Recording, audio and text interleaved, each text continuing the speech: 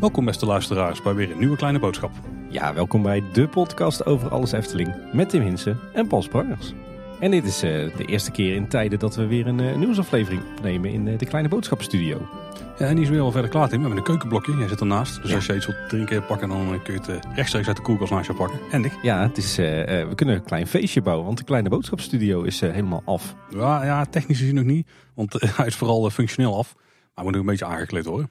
We hebben hier alles, Paul, nu. De, gewoon, ik zie gewoon een werkplek, een eh, keukenblokje, een gevulde koelkast. We kunnen gewoon de 24-7 eh, hier gaan opnemen. En niet te vergeten, koudstaande schrobbelair en stroopwafels. Ja, ik, we hoeven hier niet meer weg. We kunnen hier eh, blijven bivakeren. Er is een plek voor bedjes. ik wou net zeggen, heb je nog eens een stretcher staan of zo? Toevallig ook om de hoek. hey, maar goed nieuws Tim, want we kunnen hier ook legaal opnemen voortaan. Want de anderhalve meter maatregel die geldt niet meer. hè? Ja, precies. Eh, we- kunnen wel een feestje bouwen, want eh, dit betekent natuurlijk heel veel voor de Efteling. Eh, heel veel maatregelen gaan de deur uit, de capaciteit kan omhoog. En ja, wat mij betreft toch wel het goede nieuws van, van deze week, van deze maand misschien wel. We zijn eindelijk af van die verplichte reserveringen. Ja, en de bomen in het bos die doen een dansje Tim. ja, ik hoef ze niet meer uit te printen. Nee, jij print het nog steeds uit had ik gehoord. Ja, Want je bent echt de enige bij de ingang die met een geprinte reservering aankwam, denk ik. maar goed, ik moet zeggen, ik ben echt eh, dolgelukkig dat we, dat we niet meer hoeven te reserveren. Want van de zomer had ik er niet zoveel moeite mee, maar dit najaar lukte het maar niet om, eh, om te reserveren. Dus ik was nou eigenlijk sinds de zomervakantie niet meer in de Efteling geweest met het gezin. En daar begon ik toch wel echt beu te raken. Maar, eh, maar gelukkig is die tijd achter de rug. Na anderhalf jaar kloten met reserveringen en refreshen en last minutes... kunnen we weer lekker gewoon de Efteling in op de Bonnefoy, wanneer we er zelf in eh, zin in hebben. Dus eh, ik kan niet wachten. En dat komt goed uit, want er is genoeg te volgen in de Efteling. Hè? Want er zijn er best wel wat projecten bezig op dit moment. Ja, wat mij betreft zijn er op dit moment echt wel eh, vier hele toffe bouwprojecten die we kunnen volgen in de Efteling. Ik weet niet of jij ze zo uit je, je mouw kan schudden. Ja, dat ligt eraan hoe je ze rekent, denk ik. Want is de wereld van Simmelt is daar één project? Ja, dat zie ik als één project. Nou, dan hebben we nog Krummel natuurlijk. Ja, de Indische waterlelies. Ja, En dan hebben we, wat hebben we dan nog meer? Ja nog eentje. Waar, ook, maar die telt niet, denk ik. nee, die telt niet. En we hebben natuurlijk het Lonkhuis in het Laafla nog. Die staat ook in de stijgers. ja, zo. Ja. Ja, dus we hebben heel wat te volgen en ook weer eh, heel wat te vertellen in deze nieuwsaflevering. En dit is niet de enige plek waar we veel te vertellen hebben. Want eh, jij zat ook in de attractievergelijker van Afterpark Lounge. Aflevering 121. En als je jou nog heel veel eh, wil horen praten over jouw... eh, nou, ik zal airquotes, airquotes liefde voor Europa Park. Want die, die is er toch wel enigszins, heb ik gemerkt. Dan moet je zeker die aflevering even checken. Ja, was leuk inderdaad. Eh, ik zou zeggen, ik was de gast bij Marvin en Jafet, maar ze waren eigenlijk de gast bij mij thuis. En eh, ja, we hebben eigenlijk anderhalf uur lang een beetje in het wilde weg gepraat over eh, Europese pretparken. Vooral Efteling, Europa Park, Disneyland Parijs en Fantasialand. Dus als je het nou leuk vindt om over dat soort parken te horen praten, dan ja, ga ook eens luisteren naar de collega's van Afterpark Lounge. Zeker doen.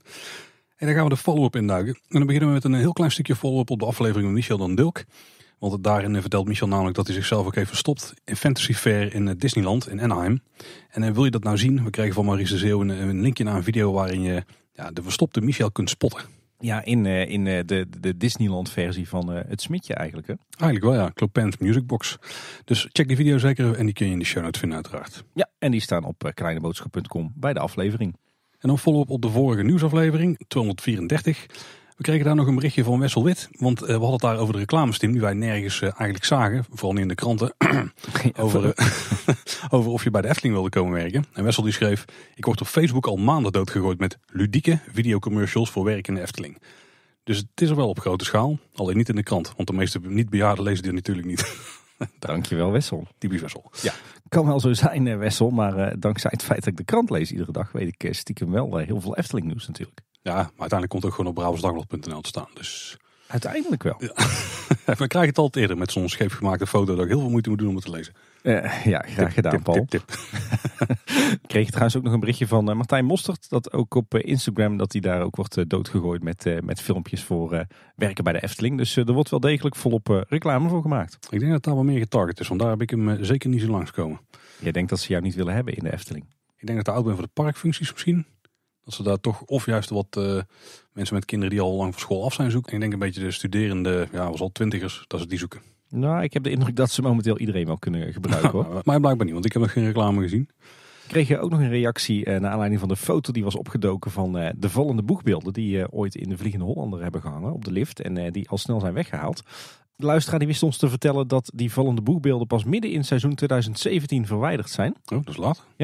Eh, ze hingen toen wel achter doeken, dus je zag ze bijna niet. Maar ze hebben er dus daadwerkelijk nog tijdens de operatie eh, gehangen. Maakt het vrij ruimteprofiel argument wel een stuk zwakker, toch? Ja, maar volgens mij was dat pas een probleem op het moment dat ze zeg maar, daadwerkelijk richting de boot gevallen waren. Ja, logisch. Ja. Dan hadden we nog een, eh, een klein nieuwtje over de nieuwe nooduitjes bij het meisje met de zwavelstokjes. Maar we werden op de vingers getikt, want die zijn al in, te, in 2020 vernieuwd, vorig jaar dus. En Looping zal nog wat meer informatie naar boven weten te krijgen over de Pardoespromenade muziek die op eh, de Jewel Changi Airport in Singapore draaide. Die had bij de Efteling even gecheckt hoe, uh, wat hun hiervan vonden en die zeiden we waren hier niet van op de hoogte. We vinden het grappig dat deze bekende Efteling muziek zelfs opduikt in Azië. En voorlopig worden er geen stappen ondernomen. Dit is toch wel zo'n plek van formaat waar je toch zou hopen dat ze dat soort zaken hebben afgedekt qua rechten en zo. Ja, ik denk eerlijk gezegd als de Efteling uh, er echt een zaak van zou maken dat het ze wel zou lukken om uh, uh, of een vergoeding te krijgen of het gebruik van die muziek te laten stoppen op die, die luchthaven. Maar ik denk dat ze er stiekem wel een klein beetje trots op zijn. En René kennende vindt hij dat ook helemaal niet erg. Ja, die heeft bij de Efteling natuurlijk gewoon al betaald gekregen. Ja. Ja, dan nog een soort indirecte follow-up op aflevering 235. Dat was de vorige aflevering over de muziek van Caro. Wat ik trouwens een hele toffe aflevering vond. Het is een van de weinige afleveringen die ik zelf ook nog heb teruggeluisterd na het ja. Maar ik ben afgelopen zaterdag toevallig mooi getuimd met deze aflevering zelf naar Caro geweest. De eerste keer sinds dat hij weer is heropend voor mij in ieder geval. Dat blijft ook een enorm toffe show, joh. Ja, ja, jij bent volgens mij met het hele gezin geweest deze keer, hè? Ja, was voor mij dus de tweede keer ook. Uh, de kinderen en uh, mijn vrouw hadden het nog niet gezien. En die vonden het alle drie ook heel tof. Vooral de oudste dochter, die heeft de grote van de show gewoon met open mond zitten kijken van wat gebeurt hier nou weer. Schitterend. Dus uh, daar ging goed. Het was één, één smetje wel op het geheel en dat is dat de Surreal Act, waar René het ook een paar keer over heeft gehad, ja. een aflevering, die deden ze niet. Oh. En nou, dat, dat, is dan aan de ene kant jammer, maar ook de muziek die draaide daarvan niet helemaal af. Ja, en ik weet dus hoe mooi die muziek is, want wij hebben het toen ook met René uh, kunnen laten horen. Uh, en daar hadden ze ook geen vervangende dans voor of zo. Ze veden die muziek gewoon uit. Net als dat iemand uh, slecht getimed de veder even dicht trok van de muziek. Ik weet zeker dat dat het geval was. En toen ging het licht uit en dat was dat stukje van de show. Mm. En toen werd het gewoon opgebouwd voor het volgende stuk en toen ging het weer verder. Oh, dat is wel jammer inderdaad. Ja, ik vond er zelf een van de tofste stukjes van de muziek. Volgens mij haalde René zelf aan dat hij het ook een van de mooiste stukjes muziek vond. En ja. daar hebben we alleen maar het introotje van gehoord. Want er werd een beetje met de hoepels rondgeslingerd, maar geen acrobatiek uitgevoerd. Maar ik begreep wel, we hadden het wat, uh, wat rondvraag gedaan. Het is zeg maar niet zo dat het een permanente aanpassing is. Jij had volgens mij gewoon uh, pech, begreep ik. Ik denk dat er een blessure was van de acrobaat die dat op dat moment deed. Want volgens mij heeft hij de rest van zijn acteerwerk wel gedaan. Dus als ik me goed herinner was het dezelfde persoon als die wij bij de première ook hebben gezien. Mm -hmm. Um, ik denk dat daar gewoon een blessure was waardoor het niet kon. Ja, dat is begrijpelijk. Alleen jammer dat ze dan niet de muziek wel afdraaien en daar gewoon iemand bij laten dansen. Ja. Al is het maar geïmproviseerd. Want die mist er toch wel een klein stukje. Kon, jou, kon jouw jongste er ook uh, de aandacht bij houden, de volledige 70 minuten? En die kon de aandacht wel bijhouden, maar die vond het af en toe wel spannend. Ook bijvoorbeeld als, uh, we moeten niet te veel spoilers gaan doen, maar er wordt een draak op een gegeven moment opgebouwd. Dat was al vrij ja. vroeg in het begin.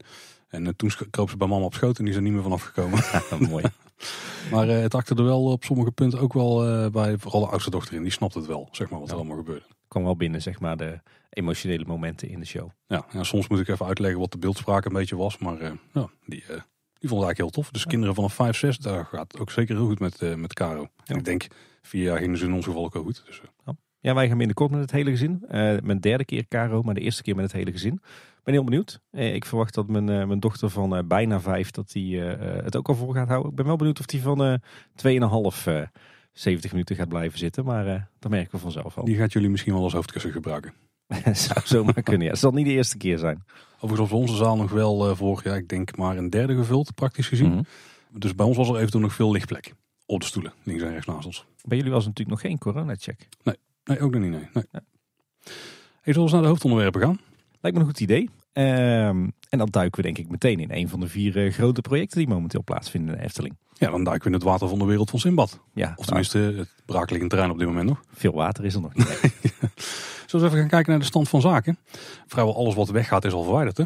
Ja, inderdaad. Ontzettend veel gebeurd in twee weken tijd. Disneyland Parijs die, uh, zou er nog een puntje uit kunnen zuigen, uh, op zijn zachtst gezegd. Die hadden net wel machines aan laten drukken, denk ik. Zo. nee, dat wordt echt e op een enorm hoog tempo uh, gesloopt en ook alweer opgebouwd. wat is er allemaal gebeurd de afgelopen twee weken? Uh, we zien dat het ingangsportaal van Monsieur Cannibal is, is heel voorzichtig verwijderd. Het lijkt erop dat die bewaard blijft, want die is ook netjes opgeslagen op de speelweide. En ze hebben, ondanks het feit dat in deze fase nog niet het hele pad achter Sirocco en Archipel wordt aangelegd, hebben ze al wel alle beplanting gerooid achter die twee attracties. Evenals uh, natuurlijk alle beplanting die tussen het, het oude Dolhof en Monsieur Cannibal stond. wat ook opviel is dat ze het, het eerste gedeelte van de meandering van Monsieur Cannibal hebben ze heel voorzichtig gesloopt. het lijkt erop dat met name de, de hekken die zijn gemaakt van ja, zeg maar imitatiebamboe, dat die zijn opgeslagen voor hergebruik. En het tweede deel van de meandering, dus zeg maar vlak voordat je de attractie ingaat, die hebben ze gewoon laten staan. En als je dan de tekeningen van Sander de Bruin eroverheen legt, dan zie je ook dat het ja, voor een gedeelte dezelfde meandering is als bij Monsieur Cannibal. En voor een gedeelte loopt die anders. En ik denk dus dat ze daar gewoon de oude meandering voor gaan hergebruiken. Toch wel bijzonder, want je zou denken dat het gewoon weghalen, wat dan makkelijker bouwt. En daarna weer terugplaatsen misschien net zo duur is. Ja. ja wat we ook zien is dat er een houten werkvloer is aangebracht op de draaischijf. Dat is natuurlijk wel handig, want we gaan daar eh, denk ik wel wat stijgers neerzetten om in de nok eh, van alles aan te brengen. Dus we weten dat dat het geval is. Ja, inderdaad. Heel veel eh, mooie verlichtingsarmaturen en een animatronic. Ja, daar ben ik heel benieuwd aan Tim. En er wordt ook een houten frame getimmerd op de plek waar eerst de kannibaal stond. Waarschijnlijk ook een stukje veiligheid, omdat ze daar ook weer bovenop kunnen, kunnen werken. Ja, wat verder nog opvalt is dat het erop lijkt dat de betonbak rond Monsieur Cannibaal, zeg maar de oude vijver, dat die behouden blijft.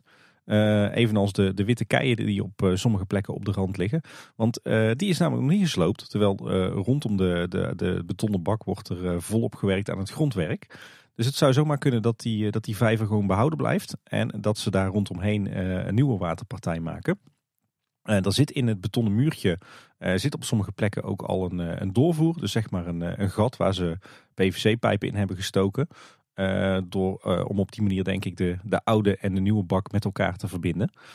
Misschien dat ze het zo doen om lekkages te voorkomen. Want als je natuurlijk de oude vijverbak deels sloopt en daar een nieuwe vijver tegen aansmeert. Ja, dan heb je natuurlijk altijd een zwak punt waar het water kan weglopen. Ja, en als je de oude betonbak behoudt, dan heb je dat probleem niet van niet. Maar het water zou er toch veel groter gaan worden? Dan zou het toch voor een deel weg moeten gaan? Nog? Ja, je zou zeggen van wel, maar zo ziet het er nu niet naar uit. Misschien dat ze daar ook nog iets gaan doen. Want er waren al andere plekken waar iets eh, leek te gaan gebeuren of leek te blijven staan. Ja. Wat toch is weggehaald. Namelijk bij het avonturendolhof. Daar uh, zijn een hoop dingen weggehaald. Maar er waren een paar zaken die bleven in eerste instantie staan. Zoals de put. Ja, het, daar zit de pomp in die het, het water vanuit de siervijver vroeger het, het avonturendolhof inpompte. Ah, dat kwam daar van, oké. Ja. Het uh, bamboehutje en het bruggetje van het springend water. en die laatste die is interessant, want die is dus uiteindelijk alsnog weggehaald. Maar wat verder nog wel eens blijven staan is dat muurtje, ja, dat huisje achterin, weet je wel, zo'n gekke ding met die, uh, die gemetselde kei erop. Een beetje zoals de rand die we ook bij Polka Marina kenden. Wat was dat voor huisje, Tim? Ja, daar hebben we nu uh, wat meer foto's van gezien, ook van de binnenkant. En dat blijkt uh, een soort hoofdverdeelkast van de Elektra te zijn. En het, het lijkt erop dat die ook gewoon behouden blijft. misschien voor hergebruik in, in Archipel. Ideaal voor een waterspeeltuin natuurlijk. Efteling kennende zal er wel dusdanig veel uh, licht en geluid en effecten in zitten dat, uh, dat je ook al wat elektra nodig hebt daar. Allemaal laagspanning hoop ik. ja. Uh, wat trouwens nog wel opviel, en dan gaat ook weer over de fasering. Hè. Sander vertelde ons dat Archipel in twee fases werd aangelegd. het eerste deel dicht bij Sirocco, bij Monsieur Cannibal. Uh, en een tweede deel meer richting de, de spoorlijn. Dat tweede deel zou pas later worden, worden aangelegd. Maar het viel wel op dat, uh, dat ze eigenlijk alle beplanting al helemaal tot aan de spoorlijn hebben weggehaald. dus de vraag is even, blijft dat daar straks uh, helemaal braak liggen? We hebben wel gezien dat bij de tweede fase van het Max Morrisplein dat daar gewoon gras was ingezaaid. Wie weet dat ze hier ook zoiets erin zet, iets simpels. Het zal misschien geen gras zijn, dat past niet echt in het thema, maar... Zou kunnen. In ieder geval is er van het, het avonturendolhof helemaal niks meer, meer over nu. Buiten dus het bamboehutje. Uh, want dat is echt helemaal plat gewalst. Een aantal zaken die hebben ze opgeslagen op de speelweide. Zoals de bamboeplanten, meanderingen en wat decorstukken die ze mogelijk gaan hergebruiken. Ja, ik ben, ik ben vooral benieuwd of ze die, uh, die bamboeplanten uh, opnieuw gaan gebruiken. Want normaal gesproken zou ik zeggen, voer die lekker af als je die eruit hebt gehaald. Maar ze, ze houden ze nou goed apart. Dus wie weet dat we die terugzien op het plein. Of zouden die dan misschien worden ingeplant in die stukjes, in die groenstroken die ze nu hebben leeggetrokken? Zou ook zomaar kunnen natuurlijk. Heeft, heeft natuurlijk wel een beetje het exotische sfeertje, hè, bamboe. Um, maar er blijven heel wat uh, onderdelen van Monsieur Cannibal en het avonturendolf bewaard. Uh, misschien voor hergebruik, maar ik denk ook voor een deel gewoon als uh, ja, stukje erfgoedbeheer, waar de Efteling natuurlijk heel goed in is. zo zien we ook dat er aardig wat decorelementen van het oude avonturendolf bewaard zijn gebleven. Evenals zelfs de lichtmasten van het plein. de kookpotten van Monsieur Cannibal die, zijn inmiddels verhuisd naar het, terrein voor het Gildenhuis op het dienstencentrum. En die staan er nou naast onder meer de walvis van Polka Marina. Ja, Tim, is waar jij heel blij van wordt. Er wordt uh, flink wat werk verzet aan het grondwerk. Ja, lekker veel kranen en loders en uh, vrachtwagens op het terrein. kabels, leidingen en buizen die de grond in gaan. Nou, daar moet jij toch wel uh, enthousiast voor worden. Ja, dat is voor een, een, aardig deel mijn, mijn werk inderdaad. ja. nou ja, het bedenken er wel niet uitvoeren. Nee, precies. Dat hoef ik dan, dan weer net niet zelf te doen. Nee, inderdaad, er wordt flink gewerkt aan het grondwerk rond Sirocco en vooral bij Archipel. Je begint al echt de contouren van de toekomstige waterspeeltuin te zien. ze hebben volgens mij heel veel slechte grond afgevoerd. er wordt nu heel veel zand aangevoerd. Dat wordt ook meteen verdicht. En ze zijn inderdaad druk bezig met de, met de nutsvoorzieningen. Dus de nieuwe riolering, de nodige kabels en leidingen. En bij Archipel zie je zelfs al her en der wat piketpaaltjes staan. Die volgens mij aan gaan geven waar de betonnen bak komt te liggen. Hmm. En dan zien we die waarschijnlijk ook snel verschijnen. Ja, tenminste, de Efteling kennen gaat het in een razend tempo straks. Ja, het moet, uh, moet open in december toch? Ja, nogmaals, mooie tijd helemaal waterspeeltuin te openen. Maar even terug naar wat er is gebeurd.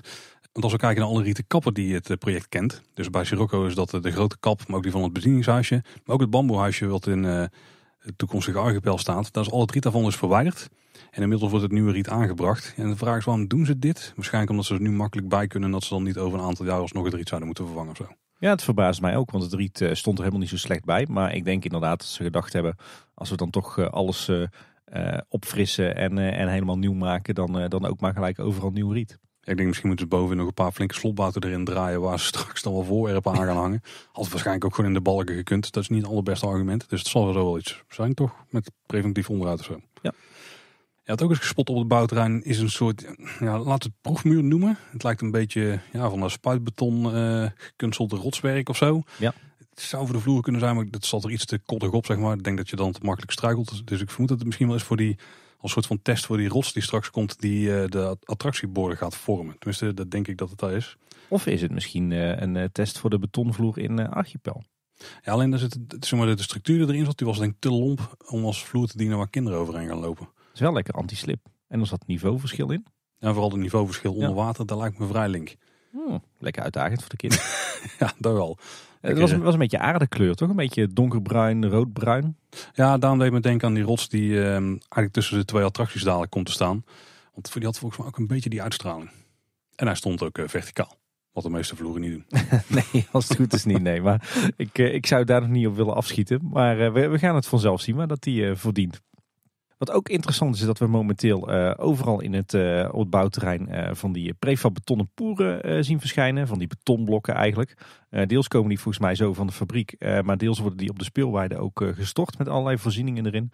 Draadeindjes en, en mantelbuizen voor, voor de elektra en de andere techniek. die worden momenteel geplaatst in het gebied, ja eigenlijk rond Sirocco en bij Archipel. En zo even een beetje mysterieus waar ze nou voor zijn. Ik vermoed zelf dat het een soort van funderingen zijn voor uh, de bruggetjes in Archipel. Het komt redelijk overeen met de bruggetjes die we gezien hebben op, uh, op de tekeningen. Bij Archipel ja, zou het kunnen. Bij Scirocco is het in ieder geval zeker voor het begin van de wachtrij. Want er volgt, ja. want er volgt exact die, eh, die lijnen. Ja, wel interessant zijn al die, uh, die mantelbuizen of al die buizen die eruit komen. Zou dat nou echt allemaal uh, techniek zijn? Dus allemaal elektra voor verlichting en dergelijke? Of zou dat misschien ook een manier zijn om uh, watereffecten erin te verwerken? Zit ook bij de wachtrij van Sirocco? Want dan moet het wel verlichting zijn wat dan, dan langskomt. Waarbij ik nee, vermoed dat het allemaal DMX wordt. Volgens mij was het uh, uh, bijvoorbeeld in het, uh, het bruggetje richting het bamboehuisje in Archipel. En dat ze daarna de rand nog leidingen erheen leggen waar ze dan het water erin persen of zo. Water misschien, of perslucht of zo. Geen idee. Nou, we houden het in de gaten. ja, daar weten, wat dat betreft weten we eigenlijk nog maar weinig over Archipel. Ja, daar hebben we wel, wel wat schetsen van gezien natuurlijk op de Efteling blog. Ja, maar die zijn vrij cryptisch. En wat Sander heeft verteld, werden we wat dat betreft ook niet heel veel wijzer van. Ik ben heel benieuwd wat er straks echt te beleven gaat zijn. Ja. En wat verder ook opvallend was, is dat uh, natuurlijk de plek die op dit moment op het Reisrijkplein beschikbaar is, een stuk smaller is hè, om, door, om langs te lopen. En ze hebben daar ook gewoon heel de dag lang eigenlijk gewoon beveiligers staan om de kinderwagens uit de weg te halen. En tenminste de mensen te vertellen waar ze die moeten parkeren. En om gewoon te zorgen dat het daar doorstroomt. Ja, ja, dat doen ze wel heel goed. Ik moest wel lachen, want ik was laatst heel vroeg bij Carnaval Festival met de jongste. Dus ik had mijn kinderwagen gewoon ergens aan zo'n dranghek vastgezet met een hangslot. Dus toen wij uit Carnaval Festival kwamen, toen was die beveiliger aan het worstelen met onze kinderwagen. Maar daar kon hij natuurlijk niks mee, want die stond met een hangslot vast. En we zitten pesten. Ja, eigenlijk wel. Wat ze trouwens ook al goed hebben gedaan, is dat ze inmiddels rond een aantal uh, bomen op het Rijsrijkplein, van die hele mooie uh, nou, stokoude platanen, dat ze daar toch ook wat boombescherming omheen hebben aangebracht rond, rond de stam. Om te voorkomen dat dus kranen en vrachtwagens tegen die bomen aanzitten en ze flink beschadigen. dat doen ze wel goed. En ik zag trouwens ook nog wat, wat activiteit op, het, op Strookrijk. Daar is nu deels in gebruik als gronddepot van de Efteling volgens mij. Eerder lag er ook een enorm gronddepot voor de F261, maar dat is allemaal opgeruimd. Maar hier liggen nog wat, wat bergjes met, met zand en met grond. En volgens mij rijden ze hier ook de slechte grond van, van dit gebied naartoe en pakken ze daar het, het zand. Dus de Strookrijk is momenteel eigenlijk in gebruik als gronddepot voor de wereld van Simbad. Oh, ik zit toch nog te wachten op het moment als de hekken gaan verzetten. Dat is minstens een half jaar wachten. Ik denk het wel. Mocht je dit nou eh, ook visueel willen volgen buiten onze beschrijvingen, dan eh, denk ik dat we het beste de updates van Eftel Wesley kunnen aanraden. Die uh, plaatst nou een paar keer per week een bouwupdate. Ja, ja inderdaad. Eftel Wesley, maar ook Jeroen 2 en Niels Kooijman, die maken ook heel veel mooie reportages op YouTube. Ja, en wil je ook nog een beetje mijmeren naar hoe het ooit was? We hebben zelf wat exclusieve bouwfoto's kunnen plaatsen van het project. Ja, op Twitter hebben die geplaatst. Eh, een aantal eh, ja, echt bouwfoto's waar eh, de firma MAC de attractie in elkaar aan het zetten is. Met heel veel staal en bouten en dergelijke. En ook een fotootje van het, ja, eigenlijk het model voor de kannibaal. Ja, waarbij ze gewoon echt zo'n zo'n drinkparasolletje hebben gebruikt als de parasol en zo. Dat is wel, wel grappig. En die hebben gekregen van aankomend gast in Kleine Boodschappen. Ja, we gaan iemand interviewen die destijds al betrokken was bij de bouw van Monsieur Kannibaal. Dus dat wordt, wordt heel tof. Zeg Paul, ben jij een beetje hyped over dit project? Ik ben vrij hyped over dit project, ja. Ja, ik ook. Ik kijk hier echt enorm naar uit. Omdat er stiekem, ondanks dat we dat interview hebben gehad met Sander, dat er stiekem nog best wel veel onbekend is. En uh, dit kan echt wel wat worden. Ik ben er vooral heel benieuwd naar de invulling van eh, Archipel. En ik ben bij Sirocco voornamelijk heel erg benieuwd hoe het straks ja, qua vormgeving eruit komt zien. Als we er lekker dicht op kunnen kijken. En als daar het bootje gaat verschijnen in het water en zo. Ja, ik ben, daar ben ik echt heel benieuwd naar. Ja, de animatronics ben ik wel benieuwd naar. Uh, de muziek ook wel echt uh, heel erg. En de inrichting van het, uh, van het plein met het groen en het water. En ja, zeker. Ja. ja, dit wordt heel vet. Nee, een ander project dat al vrij ver is. Maar waar we toevallig een, een, kijkje binnen hebben kunnen krijgen recent. Is uh, Bekkerij Krummel. Oh, en Hold Your Horses. We zijn niet echt binnen geweest, maar we hebben een video gezien. Hè, waarbij ja, Jeroen onze een rondleiding een keer binnen gaf. Ja, daar liet hij zijn acteerkunsten weer uh, uitermate goed zien. dat doet ja. toch iets beter misschien als hij een mooi pak aan heeft. Ja. Nee, uh, was het maar zo'n feestje dat we binnen hadden mogen kijken. Maar dat, uh, dat duurt denk ik nog wel een paar weken. Ja, um, maar wel weken en geen maanden denk ik. Nou, we hebben wel wat geruchten opgevangen dat opening wellicht ergens in de loop van november is. Dus dat is geen meervoud dan maanden. Nee, inderdaad. Ja, anderhalve maand. Is dat meervoud? Nee. Nee. Uh, je had het net al over uh, de video met, uh, met Jeroen Vrij. Daar gaan we het zo meteen nog even over hebben. Maar eerder stond er al, een, wat mij betreft, echt een ontzettend goed artikel op de Efteling-blog. Ik liep echt te kwijlen over mijn, mijn toetsenbord. en dat had als titel Ouderwets timmer- en schilderwerk bij Bekkerij Krumel. Ja, dan weet je al, dan, dan kan het alleen maar heel mooi zijn. Um, ja, dat artikel was eigenlijk helemaal gewijd aan al het werk wat, wat de bouwdienst en de schilders en de afdeling decoratie vormgeving doen in eigen huis voor Bekkerij Krumel. Met prachtige foto's van echt enorme hoeveelheden meubilair dat blijkbaar in eigen huis wordt gemaakt. En ook heel veel van die typisch Eftelingse decorstukken, zoals je ze ook kent uit Symbolica en Polskeuken en Baron 1898. En uh, ja, daar hebben ze echt een enorm uitgebreid artikel aan gewijd. Dus heb je dat nog niet gezien, uh, ga het zeker even checken. We zetten weer een linkje in de show notes. En, en wat daar, uh, een aantal opvallende zaken daarin is bijvoorbeeld dat al het meubilair voor uh, Bekkerij Krumel zelf wordt gemaakt uh, in het Gildenhuis door de afdeling Bouw en Schilders. Dus er wordt niks uh, van de plank ingekocht, tot mijn verbazing. Het gaat om ruim 60 meubelstukken. Zo. Zoals tafels, krukjes en picknickbanken voor buiten en tafels en banken voor binnen. En Jeroen heeft dus ook echt voor ieder meubelstuk een ontwerp gemaakt. Ja, dat kan ik me wel voorstellen. Want we zagen in, het, uh, in de video dus ook dat ze zo'n stelhandboek hebben. Of het, ja. het ontwerphandboek. Ontwerpdocument. 160 pagina's? 130. Oeh, zo. Nou, dat valt niet tegen. Maar ik heb, ik heb het opgeschreven in het draaiboek, dus daarom weet ik het dan. Zoveel zijn we nog niet. Een paar details die we daarbij nog hebben gehoord is dat de meubels worden gemaakt van Iroko hout. Ja. Is dat bijzonder? Dat is uh, goed hard hout, ja. En dat alles nu wordt afgelakt. En binnenkort gaan ze dus naar de bekkerij en dan kan het inrichten beginnen, Tim. Ja, inderdaad. En ja, op deze manier is het echt, uh, echt een gezamtkunstwerk. Hè? Dus niet alleen het gebouw en het interieur worden ontworpen, maar zelfs uh, de meubels. In plaats van dat ze gewoon een belletje naar vervoer deden, doen ons wat uh, tafels en stoelen, zoals dat voorheen altijd ging. Ook decoratievormgeving is trouwens al een tijdje druk bezig met de requisieten en muurschilderingen in Bekkerij Krummel. voor de requisieten worden schetsen van Jeroen gebruikt, maar in de uitvoering is de afdeling, dus de decorateurs en de vormgevers, die zijn daar redelijk vrij in. Ja, wat zien we allemaal voorbij komen op de blog? Uh, een heleboel kisten met, uh, met opdruk, zakken meel, allerhande krakelingen, taarten standaard, melkbussen heb ik gezien. Allerlei mandjes met eieren die soms ook kapot geslagen zijn. En ook gardes en weegschalen. Ziet er allemaal prachtig uit. En een hoop van die decorstukken die hebben ze weer zelf gemaakt. We zijn ook op jacht gegaan bij bijvoorbeeld handelaar en kringloopwinkels naar oude spullen die ook zouden passen. En er zijn ook materialen en spullen gedoneerd. Maar die worden wel allemaal nog bewerkt en gedecoreerd voordat ze worden geplaatst uh, in de bekkerij. Dat ze allemaal de Efteling touch hebben. Juist. Ja, wat, wat ik ook een heel leuk detail vond is, ze zijn schijnbaar op een gegeven moment aan de slag gegaan met de speculaasplanken. Dat zijn zeg maar van die houten planken uh, waar figuurtjes in zijn uitgegutst of tegenwoordig uitgevreesd, waar je dan van die ja, speculaaspoppen uit kan maken. Uh, en ze kregen op een gegeven moment het idee van ja, we hoeven niet per se bestaande speculaasplanken te decoreren. We kunnen ze natuurlijk ook gewoon zelf maken hier in het Gildenhuis met de eigen vreestafel. Dus uh, ze zijn speculaasplanken aan het gaan maken met bekende Efteling taferelen. En we zagen onder andere een fotootje voorbij komen met de ganzenhoedster. En die gaan we dus ook terugzien in de bekkerij. Kijk, nog Carlo wel roepen. Ja, inderdaad. Er waren verschillende liefhebbers die zeiden al... dat is een uh, typisch Efteling souvenir. Die moeten ze in de winkel gaan leggen. Als ze zelf gaan vrezen, denk dat er vrij dure planken worden. Maar als je ze wil hebben, ja. Ja. Waarom niet? Maak er een stuk of tien en kijk wat het doet. Ja. Binnenkort worden trouwens de meeste requisieten in de bakkerij geplaatst door, uh, door decoratievormgeving. En uh, je gaat ook een enorme muurschildering uh, zien bij binnenkomst. werd er verklapt op blog. En die hebben we inmiddels trouwens ook gezien in de video. Ja, en ik zei het al, Paul. Ik heb echt over mijn toetsenbord zitten kwijlen bij het lezen van dit, dit artikel. En wat mij betreft zie je hier ook in terug, zeker aan, aan alle foto's, wat nou de enorme meerwaarde is van het hebben van een eigen afdeling decoratie en vormgeving. Ja. En dus om al die decorateurs en vormgevers in eigen huis te hebben. Want natuurlijk kan je een heleboel uitbesteden. En dat gebeurt ook veel. Hè. Daar, daar bestaan bedrijven als Joravision en PMP en Kloosterboer ook van. Maar toch, toch is het goed om die, die kennis in huis te hebben. Want ik vind dat, je, dat dat bijvoorbeeld iets is wat je heel goed ziet als je de Efteling en Toverland naast elkaar zet. Ik bedoel, eh, Toverland heeft een, een ontzettend begaafde ontwerper, Peter van Holstein, die maakt prachtige tekeningen.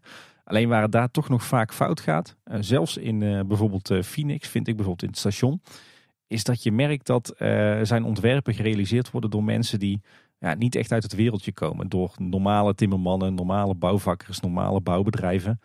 En je ziet toch dat die net niet dat echt die, die sfeer kunnen vertalen van tekening naar werkelijkheid. Dat het allemaal net iets te, te netjes, te steriel, terecht is. En de Efteling heeft gewoon ontzettend veel geluk dat ze, dat ze zo'n grote afdeling met, met vakmensen hebben die dus daadwerkelijk die mooie tekeningen ook nog eens kunnen uitvoeren. En ik denk dat ze vaak ook misschien, hè, als er al een mooi ontwerp ligt, dat ze het nog net even wat mooier kunnen maken. en net even dat nog een extra Eftelingse touch kunnen geven. Dus ja, wat mij betreft laat dit hele project maar weer zien dat, dat de Efteling echt heel zuinig moet zijn op die eigen decorateurs en vormgevers. Hopelijk gaan we daar veel meer van zien in de komende jaren. Ja. En Tim, als je op zit te kwijlen bij de blog, dan heb je denk ik ook wel zitten kwijlen. Eindelijk, voor het eerst misschien wel, bij deel 4 van Ondertussen in de Efteling. Ja, heeft die YouTube-serie eindelijk toch nog iets van toegevoegde waarde? ja, eindelijk iets van, van inhoud inderdaad. Want aan het begin van de nieuwste aflevering, daar lopen ze samen met ontwerper Jeroen Vrij een rondje op de bouwplaats van Bekkerij Krummel. Ja. ja, en daarbij krijgen we dus een kijkje in het ontwerpdocument. Ik heb nog geen tijd gehad, want de video die kwam, uh, ik zag hem ongeveer, uh, ja, was het zijn, een paar uur voordat wij gingen opnemen. Ik heb nog niet uh, beeldje voor beeldje kunnen kijken, maar de ontwerpdocument, daar moeten toch vast een paar interessante shots in zitten. Absoluut. Dus die moeten we even gaan uitzoeken. Maar ik... Ook daar werd al van gezegd, waarom verkopen ze die ontwerpdocumenten niet in de souvenirwinkels voor de ook fans? Zo. Daar zou ik ook achter elkaar scoren. ja. ja, zeker. Daar zou ik wel 50 euro overlap hoor. Ja, zeker. Nou, breng ze achter elkaar uit alsjeblieft. Ja.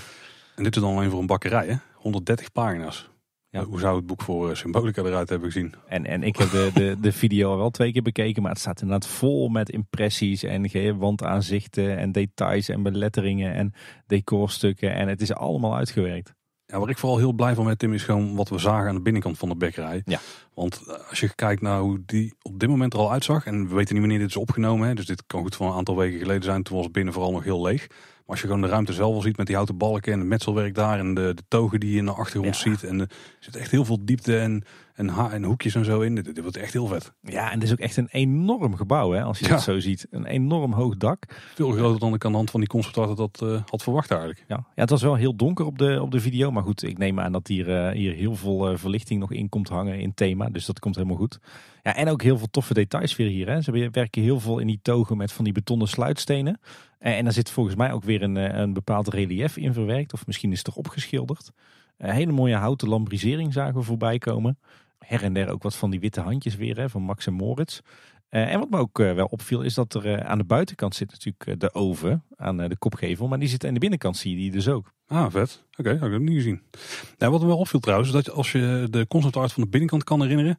Dan had je aan de rechterkant had je die, die balies waar je dingen kon bestellen met daarboven die plank met die attributen. Maar dan had je dus aan de achterkant van de ruimte waar je binnenkomt, dus eigenlijk een beetje meer links op de tekening, dan heb je die twee togen zitten. Maar die lijken nou alle twee open te zijn. Terwijl in de concept art bij eentje nog een balie voor staat.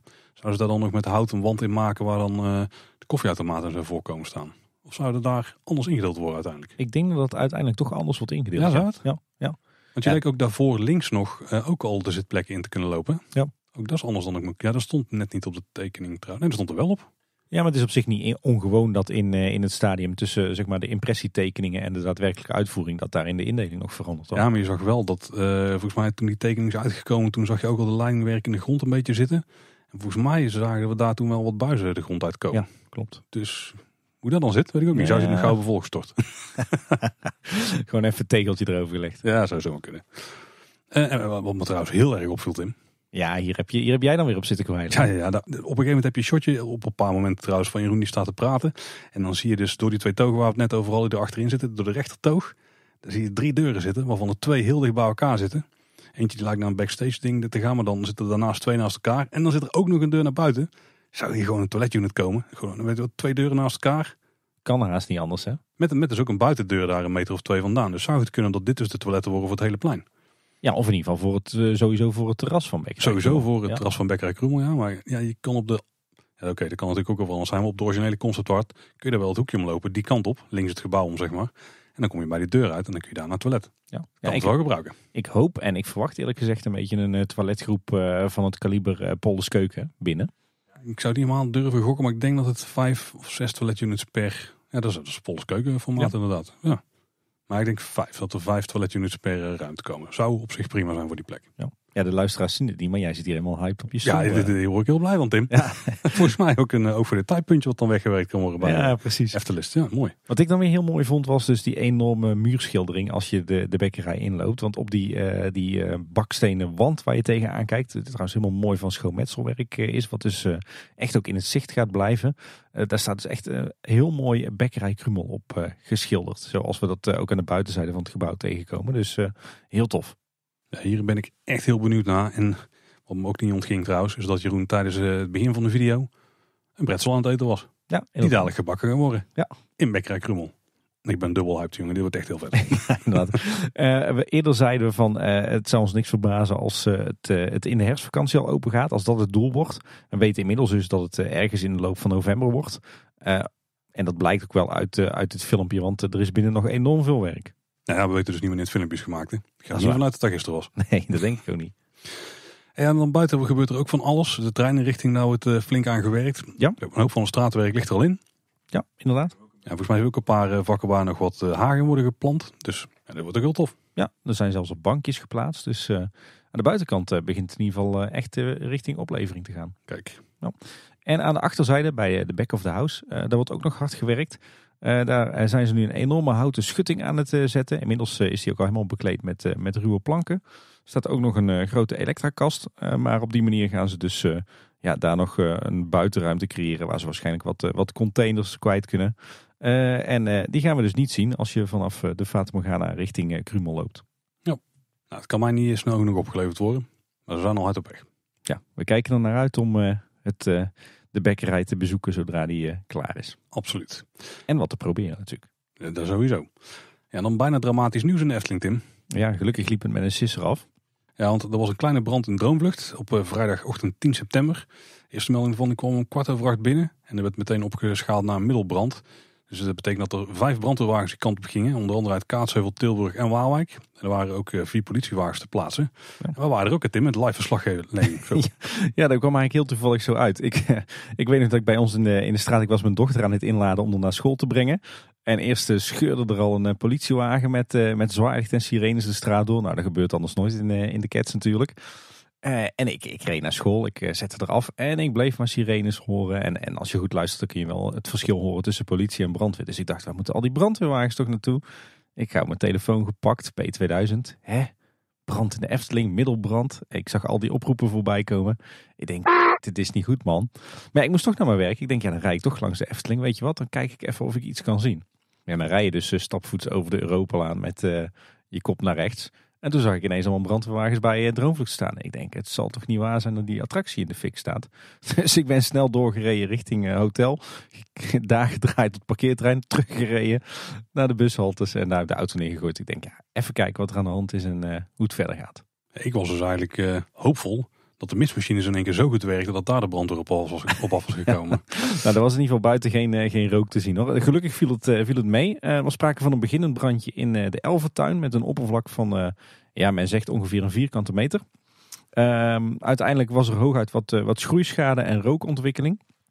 Men zegt dat de brand waarschijnlijk is ontstaan door verlichting. Dus misschien dat daar een, een hete lamp op wat, wat kunstplanten heeft gestaan. Maar door snel handelen van de medewerkers ter plaatse was het snel onder controle. En dat bleek ook wel, want ik was tegen half negen bij de Efteling. En toen reden drie van de vijf brandweerwagens ook alweer weg. Dus dat is toch een teken dat, er, dat het al snel onder controle was. Uiteindelijk bleef de attractie dicht tot, tot kwart voor drie. En de eerste show van Ravelijn werd, werd geannuleerd. maar ik ben, ben inmiddels een, een, aantal keer in Droomvlucht geweest sindsdien. En ik kan echt nergens in de Elfentuin ook maar enige vorm van schade ontdekken. Dus het is echt heel minimaal gebleven, de brand. Ja, en iemand die natuurlijk vreselijk van schrok was uiteraard Geert Wilders. Die was weer flink on-brand. Die moest er natuurlijk meteen eens over plaatsen. Ja, inderdaad. Nee, maar even belangrijker, geen zichtbare schade, oorzaak waarschijnlijk een, een, spot. Maar als er weinig schade is aangericht, dan hebben ze het ook best goed voor elkaar qua brandwerendheid uh, van droomvlucht. Ja, ja ik denk dat, dat deze, deze brand, of ja, brand mag je het eigenlijk nog niet eens noemen, want het stelde niks voor uh, blijkbaar. Dat, dat je hier wel een aantal dingen van kunt leren. Allereerst dat de Efteling in ieder geval goed bezig is met, met onbrandbare materialen in, in dit soort gebouwen. Want ja, van oudsher, decors van, van Dark Rides um, met heel veel kunstplanten, ja, die waren vroeger echt zo brandbaar als het maar zijn kon. Zeker al die plastic planten. Nou, daar, daar hoefde maar een vlammetje bij te zijn. en, en het ging heel hard. Um, nou, dat mag sinds een aantal jaar niet meer. Daarom heeft de Efteling ook in, in veel attracties, bijvoorbeeld in Fata Morgana, Indische Waterlelies en Droomvlucht, de afgelopen jaren um, alle beplanting vervangen door onbrandbare spullen. En blijkbaar werkt dat. Want reken maar dat als er een hete spot tegen een, een oude kunstplant aan had gestaan, en het was beginnen te branden, dan was het anders heel snel gegaan. Dus, dus dit toont wel aan dat, ja, dat de brandbaarheid van het decor van Droomvlucht dat die echt minimaal is. Want anders was het, was het vreselijk misgegaan. En ook dat, ondanks dat de Efteling geen eigen bedrijfsbrandweer meer heeft, dat als er dus wat gebeurt, dat de brandweer heel snel uitrukt en dat er ook flink wordt opgeschaald. Want ja, voor zo'n beginnend brandje binnen 10 minuten vijf brandweerwagens te plaatsen, nou, dan zijn er toch goede afspraken gemaakt tussen de Efteling en de hulpdiensten. En met die warme spotten, ik dacht dat al een groot deel van de verlichting van de droom was vervangen door LED. Alleen in Zompenwoud uh, hangt LED. wel in Zompenwoud? Ja. Ah, Oké, ik zat te twijfelen. Nou, dan, dan is het verklaarbaar, ja, ja. ja. Dus eigenlijk is het ja, met een sisser afgelopen. En uh, ja, ik denk dat dit wel aantoont dat uh, de Efteling op het gebied van brandveiligheid en, en ook de hulpdiensten de dingen, ja, de zaakjes goed voor elkaar heeft. En er was nog nooit zo'n slecht zicht in de droomvlucht dankzij effecten. ja, we hoorden wel van luisteraars dat het die middag in de droomvlucht wel nog naar brand rook. Maar ja, niemand heeft eigenlijk iets van schade gezien in de scène. Oké. Okay. In een paar uur voordat wij deze opname starten, toen kwam uh, de TEA Team Index 2020 uit. Dus dat is zeg maar de, de bezoekerscijfers van heel de wereld, van alle teamparks ter wereld. Ja, dat zorgt dan weer voor een brandje onder, onder de pretparkliefhebbers, ja. zullen we zeggen. Nou, ten eerste wil je hem zelf lezen. We plaatsen het linkje in de show notes. Dat is een pdfje waar al die gegevens in staan. We hebben nog niet helemaal zelf door kunnen nemen. Maar het belangrijkste wat daar eigenlijk ieder jaar in staat, dat zijn de bezoekerscijfers. En die waren in 2020 natuurlijk eh, heel interessant. Ja. Normaal gesproken maken ze hier een ranking van, van alle parken. Dat moesten ze nou zelf een beetje doen, want ze hadden om, uh, vanwege de, het vreemde jaar hebben ze de top 20 van vorig jaar aangehouden. En daar hebben ze de cijfers van dit jaar bijgezet. Dus de ranking die is nog op basis van 2019. Maar de cijfers die zijn dus uh, van, van 2020 staan erbij.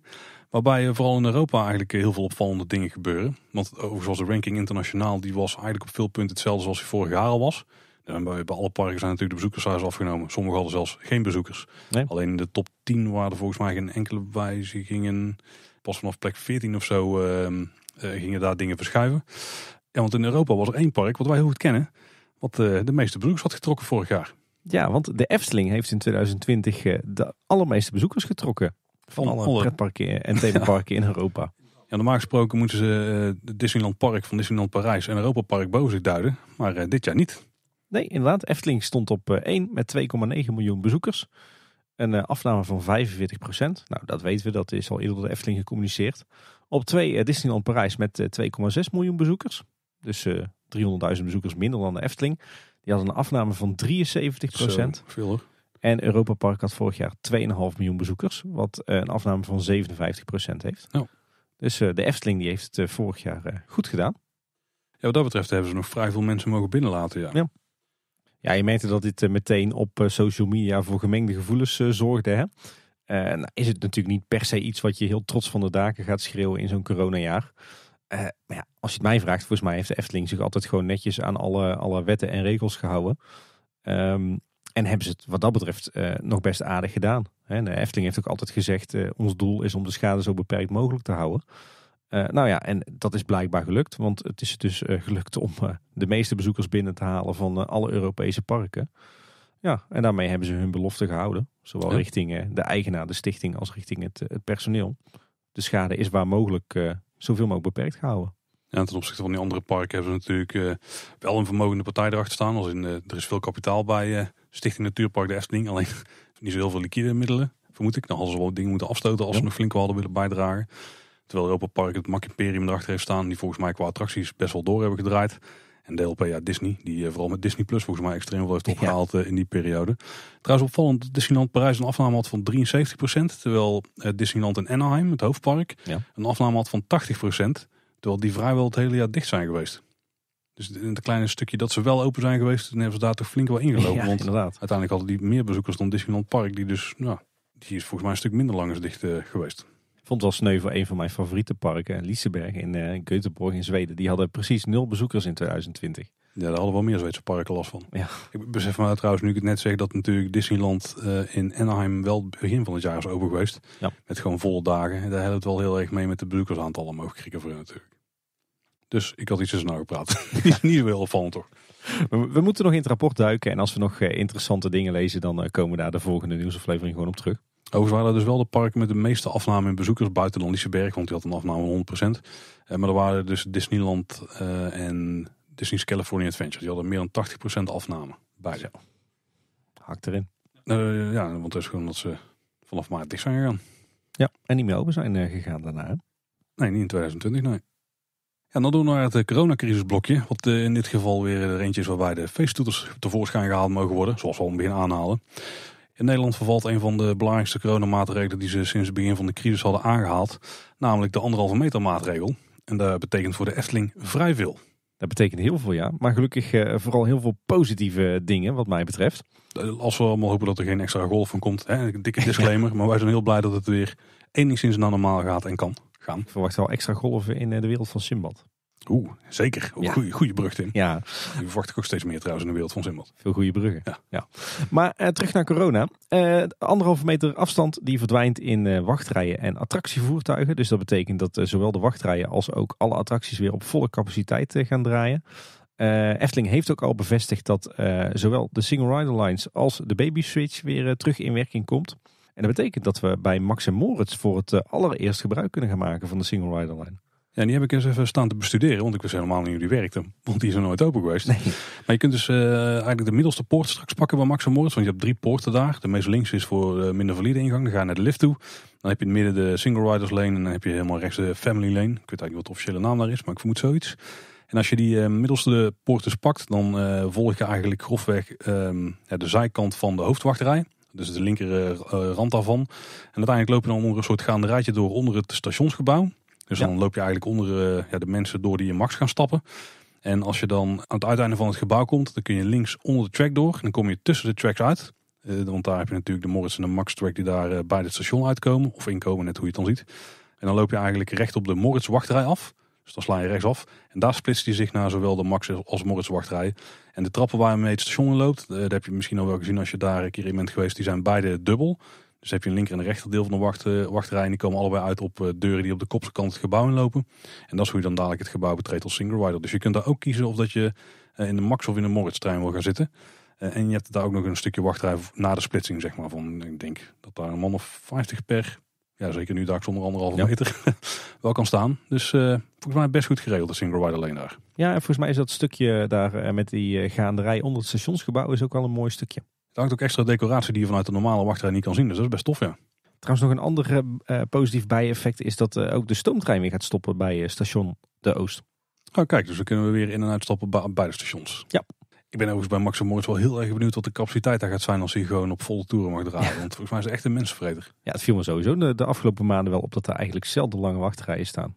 Ja, dat komt omdat de capaciteit nu al vrij goed was. Ja. En nu moesten ze nog, nou, wat zal het zijn? Een derde tot de helft van de trein vaak leeg laten. Ja. Kan je nagaan als ze dadelijk daar mensen doorheen kunnen pompen. Ik ben echt heel benieuwd eh, wat dat Ja, gaat wat een eh, capaciteit monster, ja. Ja. Qua, overigens, qua operations staan er altijd wel voldoende mensen. Ik heb toch vaak twee mensen per trein gezien plus de operator. Ja. Nou, ook belangrijk, het coronabewijs. hè. Dat is in Nederland natuurlijk nu op een paar plekken heel relevant. Op een paar punten in Efteling overigens ook. Maar om het park te bezoeken heb je dus, eh, ja, hoef je geen geldig coronabewijs te hebben. Ook niet voor de binnenattracties. Eh, zoals het er nu naar uitziet, ook niet voor die shows zoals Fabula, Ravelijn en het Sprookjesbos Theater. Die laatste twee zijn sowieso meer buiten, dus ik denk Ja. dat dat ook niet nodig is. Fabula moeten we nog even afwachten, maar lijkt erop dat het niet nodig is.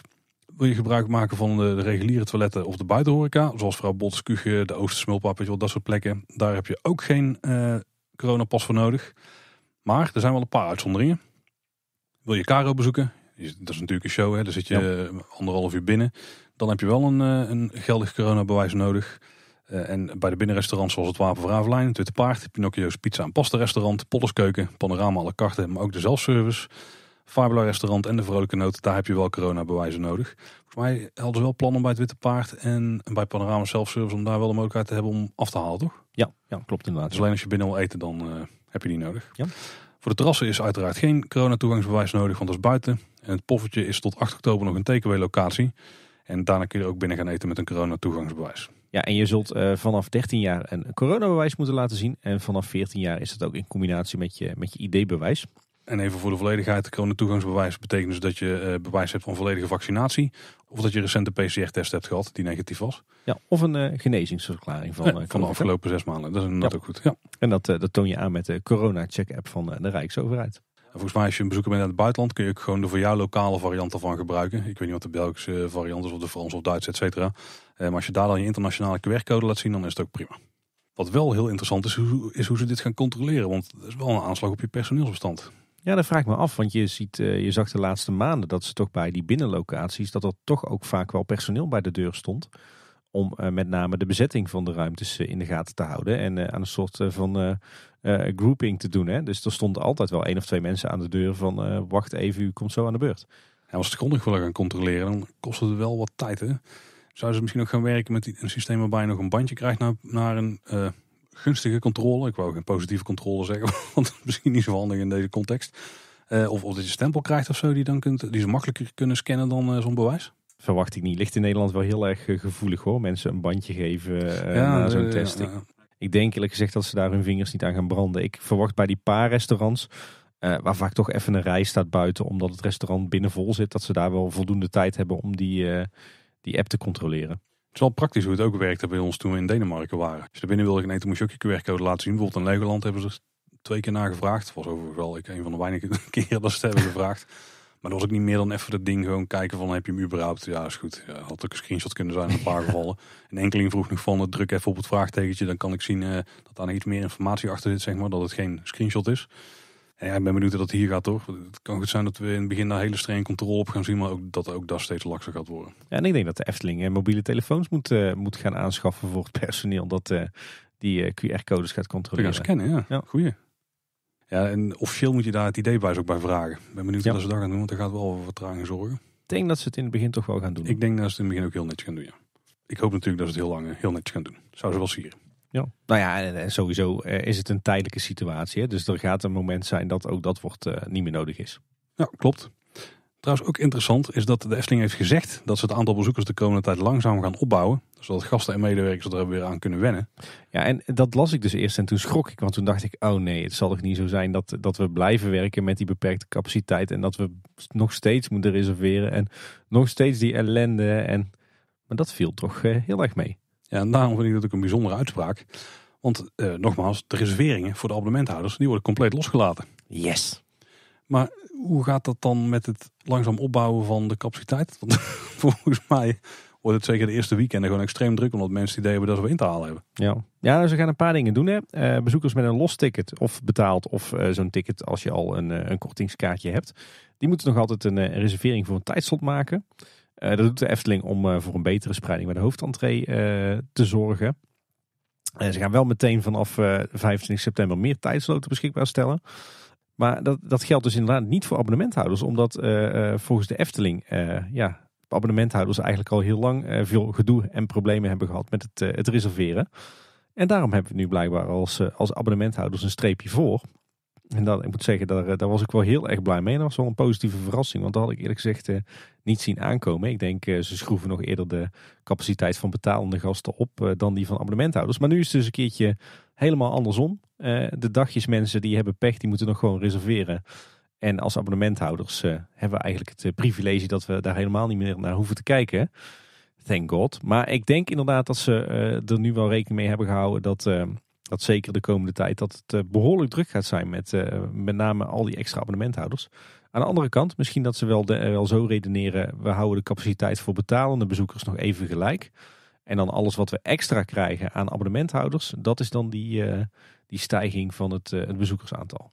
Ja, het zou zoiets wel moeten zijn. Want ik denk als je de betalende bezoekers wat gaat opschroeven. Want door, die, door het verdwijnen van die regel gaan veel mensen zich ook meer vrij voelen. Dus ik denk dat er ook meer mensen gewoon dit soort uitjes al... ik, denk dus dat, ik denk dus dat er ook meer mensen aan dit soort uitjes weer gaan. Maar die, die abonnementhouders, ja, die, die hebben we in te halen voor een gevoel. Dus ik vermoed het ja. daar ik denk serieus dat de komende weekend een paar van de drukste gaan worden die we tot nu toe hebben gehad in het park. Dat denk ik ook. De Efteling communiceerde zelf van, ach, abonnementhouders komen toch niet allemaal tegelijk op dezelfde dag. Maar oh, denk op dit, in dit geval. Ja, uh, we praten hier natuurlijk nu over. Het is nu nog voor het weekend dat het allemaal gaat gebeuren. Dus op dit moment weten we al hoe het is gegaan afgelopen weekend. Dus klein voorschot op de glazen bol, Tim. Ik verwacht dat het weekend heel druk is geweest. Ik uh, denk het ook, ja. Ik denk dat er ook best wel wat mensen binnen de Efteling denken... Nou, ben benieuwd wat er op ons af gaat komen ja. Eh, dit weekend. Ik denk dat er best wel veel mensen zijn opgeroepen voor komende zaterdag. Ja. Belangrijk trouwens is dat de rode en witte wachterrijvakken en de spatschermen en dat soort zaken, die zullen nog niet meteen allemaal weg zijn. Nee. Er gaat waarschijnlijk wel wat verdwijnen al de komende, tenminste eh, in de nacht voor 25 september. Maar nog zeker niet alles. En de Efteling heeft aanval, je hoeft je daar dus niet meer aan te houden. Je mag gewoon overal gaan staan dadelijk in de wachtrij. Klopt inderdaad. Uh, Efteling heeft ook uh, aangegeven dat er bij de hotels en resorts wat gaat veranderen. Uh, daar heb je alleen een corona toegangsbewijs nodig als je gebruik maakt van de, de horecalocaties, dus de verschillende restaurants. En gasten in de Efteling hotels en de vakantieparken die ontvangen als ze willen na een check wel een polsbandje. Zodat ze niet constant opnieuw gecontroleerd hoeven te worden. Maar die hebben natuurlijk al vaker polsbandjes, dus daar misschien niet heel veel anders dan normaal. Nee, precies. Daar ligt misschien net iets minder gevoelig. De Efteling gaat zelf geen sneltestlocaties zo inzetten of, of inrichten. Nee, nee, daar heb ik eigenlijk nog geen enkel park uh, over gehoord. Nou, ik weet dat ze het bijvoorbeeld in de afgelopen zomer wel hadden in Europa Park. Dat je daar dus wel makkelijk jezelf kan laten testen. Want als jij een verblijfsgast bent voor een langere periode, je hebt je niet laten vaccineren, dan kun je alleen maar de eerste paar dagen naar, uh, naar de, de horecalocaties. Ja. Want dan is je test nog geldig. Ja, ik denk dat je hier dan in principe naar een, eh, een, een testlocatie moet gaan buiten de wereld van de Efteling. Ja, maar dat is dan toch Tilburg, ja, dus niet super ver weg. Ja, en Tilburg ligt een hele grote. Maar ik, geloof dat je ook bij het NH Hotel, nou dat is echt op een oh, uh, afstand, kan je ook laten testen volgens mij. Oh, oké. Nou, dat is nog wel te doen. Ja. Nou, we zeiden het net al in de nacht van vrijdag op zaterdag, dus afgelopen vrijdag op zaterdag, uh, zoekt de Efteling nog personeel om uh, te helpen met fysiek zwaar werk. Want er moet wel gesjouwd worden. Ja, dat zal dan toch voor een deel de ombouw zijn. Maar wat er dan precies gaat gebeuren, weet ik niet. Nee. Ik vermoed dat ze op een paar plekken waar ze nog staan een hoop dranghekken gaan weghalen. Misschien dat ze bij Joris en de Draag het flink gaan opruimen daar. Ik denk heel veel, heel veel bochtjes en A4'tjes en alles wat ze zeg maar makkelijk kunnen opruimen. Dus niet per se die kuchschotten, maar alles wat een beetje makkelijk opgeruimd kan worden, denk ik dat ze dat toch wel weg willen hebben voor 25 september. Ja, vooral de infra- en ruigraak daar, die is wel flink veranderd. Vooral bij Joris en de Draak. Dus ik heb me vermoed dat ze daar wel wat gaan doen. Misschien bij de Vliegende Hollanders staan ook nog een hoop van die uh, hekken en zo. Dat soort plekken dat ze dat vooral gaan opruimen. Inderdaad echt het sjouwwerk. Ja, ja, dus ze gaan er mee aan de slag van half zeven s avonds tot uh, vijf uur s ochtends. Dus, uh... Oeh, maar die men, maar dan ook mensen nodig die de dag daarna nog in het park gaan draaien. Ja, ja het mailtje wat we te zien kregen, daar stond ook in. Ben jij op vrijdag of op zaterdag nog niet ingedeeld? En heb je tijd, dan zouden we het fijn vinden als je komt, komt sjouwen. Kijk, ja, we zeiden het net al, hè.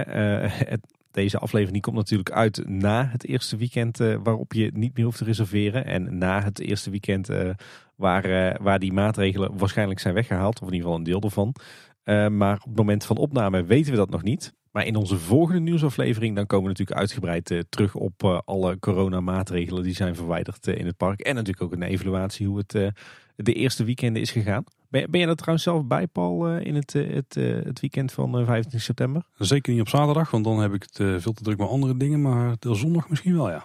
Hm. Ja, wij zijn net een, een weekendje weg met, uh, met de familie, dus ik kan er helaas niet bij zijn. Maar uh, reken maar dat uh, daarna dat we geregeld in de Efteling te vinden zijn, nu we eindelijk niet meer hoeven te reserveren. Er zullen vast wel van onze redactieleden zijn om verslagen te brengen. Dat denk ik wel, ja. Er was trouwens nog wel wat, wat ophef. Die is ook nog niet helemaal gaan liggen volgens mij. Als in, ik heb er nog niet 100% uitsluitsel over zien nee. langskomen.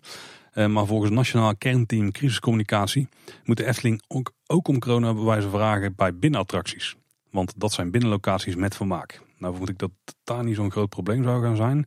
Maar Fabula is wel een beetje zo'n zo'n twijfelgeval. Want er was een discussie natuurlijk van bioscopen. Daar heb je dus ook een coronatoegangsbewijs uh, bij nodig. Maar bij uh, Fabula niet. Er is natuurlijk wel een klein verschil met Fabula. Dat is dat daar de deuren regelmatig open gaan. Als je daar maar een minuut of 10, 12 in de zaal bent. Ja. Uh, dus bij een bioscoopfilm natuurlijk compleet anders. Waar je ruim anderhalf uur in een zaal met z'n allen zit. Zonder dat daar heel veel wordt doorgelucht en zo. Dus misschien dat daar nog een, een essentieel verschil uiteindelijk in zit. En dat het daarom meer als een attractie geldt dan als een filmvoorstelling. Maar eh, buiten, het is ook niet super praktisch natuurlijk om het te doen. Maar ik begreep dus van Thomas van Teamtalk dat het zo is dat de Efteling bij binnenkomst van het park niet eens mag vragen om een coronatoegangsbewijs. Nee. Dus je kunt er dan niet zeg maar in de controle aan de deur doen en daarna vanuit gaan dat alles goed is.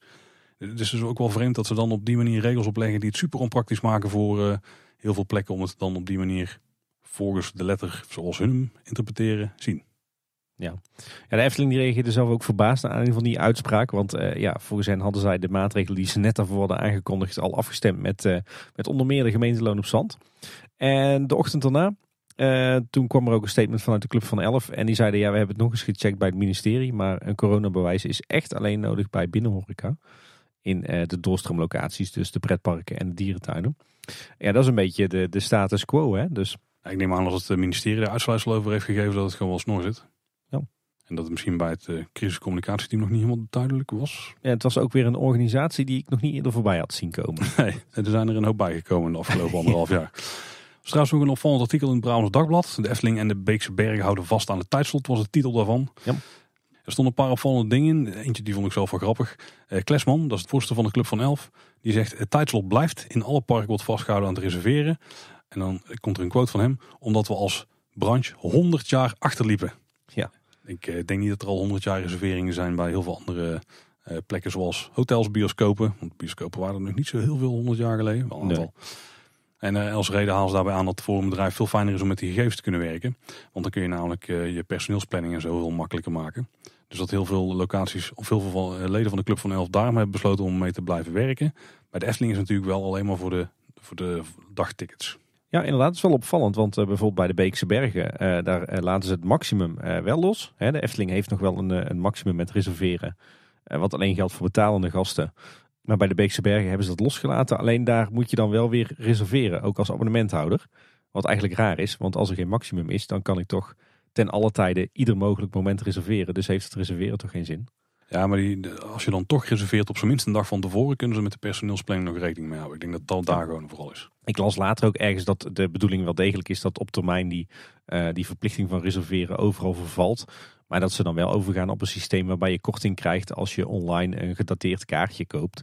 Uh, zodat ze toch nog steeds uh, een beetje kunnen inschatten hoe druk het wordt. Ja, ja dat klinkt logisch. Op zich doet de Efteling natuurlijk al een beetje met die verschillende tickettypes. Ja. Maar die koop je nog steeds niet op datum, toch? Die koop, die koop je gewoon zodat je ze binnen die bepaalde ja. moeten we zeggen, geldigheidsmomenten kunt gebruiken. Ja, maar Efteling zou natuurlijk wel veel meer kunnen gaan inzetten op uh, online verkoop van uh, tickets op datum. Ja.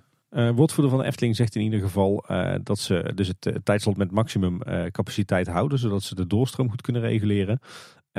Efteling wil de bezoekers ook niet meteen confronteren met de gebruikelijke drukte. Ze bouwen de capaciteit langzaam op, zodat de bezoekers, maar ook het personeel langzaam weer kunnen wennen aan een vol park. Kleine voorspelling, dit gaat keihard falen. maar ik ben er iets minder zeker van.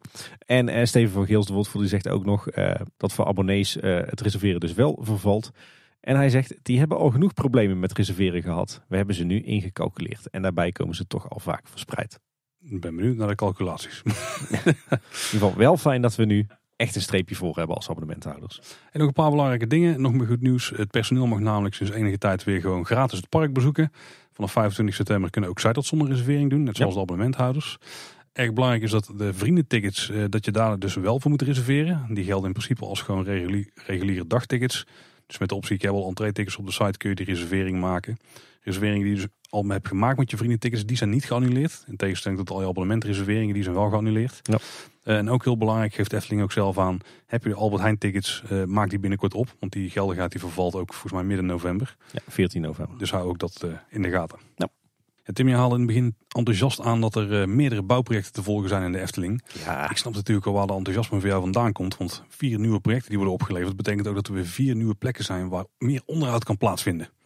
Maar ja, technisch gezien zijn er twee nieuwe plekken. Hè? De andere twee waren onderhoudsprojecten. Ja, maar dan kan daarna dus weer een nieuw onderhoud aan het onderhouden project plaatsvinden. Dat is tof of niet? Dat is, uh, meer onderhoud is altijd tof. Hè? Nou, daar kunnen we nu in ieder geval van genieten. Tim, trek even naast je die koelkast open. Ja, ik mijn blikje cola is leeg. Oh, ik wou eigenlijk eh, die fles daar pakken. Die kruik die daar ook in staat. Je hebt gelijk een grote fles schrobbelair in de, de koelkast gezet. Ja, ik denk dat kunnen we er even tegenaan. Hè? Vind je het goed als ik het bij een, uh, nog een blikje cola hou? Jij bent met de auto, doe maak maar een blikje cola voor de naast. Zeg maar, als jij aan de drank gaat, Paul, mag ik dan nog een stroopwafeltje? Van mij wel hoor. Nou, Tim, onze versnaperingen die hebben we bij de hand. Tijd voor het onderhoud, ik leun even achterover. Je kunt een keer in real life doen. Ja, normaal gesproken zie ik jou buiten beeld verdwijnen op een schermpje van mijn telefoon. Maar uh, nou kan ik uh, in levende lijven zien dat het je niks interesseert. ik, uh, ik, ik zeg altijd, ik ga achterover hangen. Dan ga ik in gedachten mee door het park. En dan heb je het allemaal over dingen waarvan ik bij de helft niet eens weet waar ze staan. Dus dat is altijd mooi. Hè? ja, inderdaad. Nou, laten we aan de slag gaan met het, het onderhoudsblokje. Ze zoeken bij de Efteling trouwens een, een nieuwe manager van de afdeling onderhoud en beheer. Dus ik zou bijna zeggen als functie vereist dat je kleine boodschap luistert. Dat is een functie, daar zit je wel eens gegoten.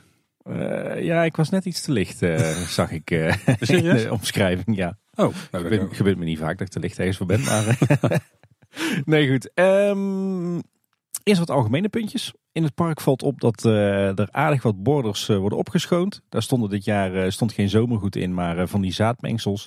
Nou, die zaadmengsels die worden langzaam maar zeker gemaaid en opgeruimd. En uh, nu liggen ze zwart, zoals we uh, van uh, Mario Dieltjes hebben begrepen dat het dan heet. Ben benieuwd, komt er nog wat herfst- of wintergoed in?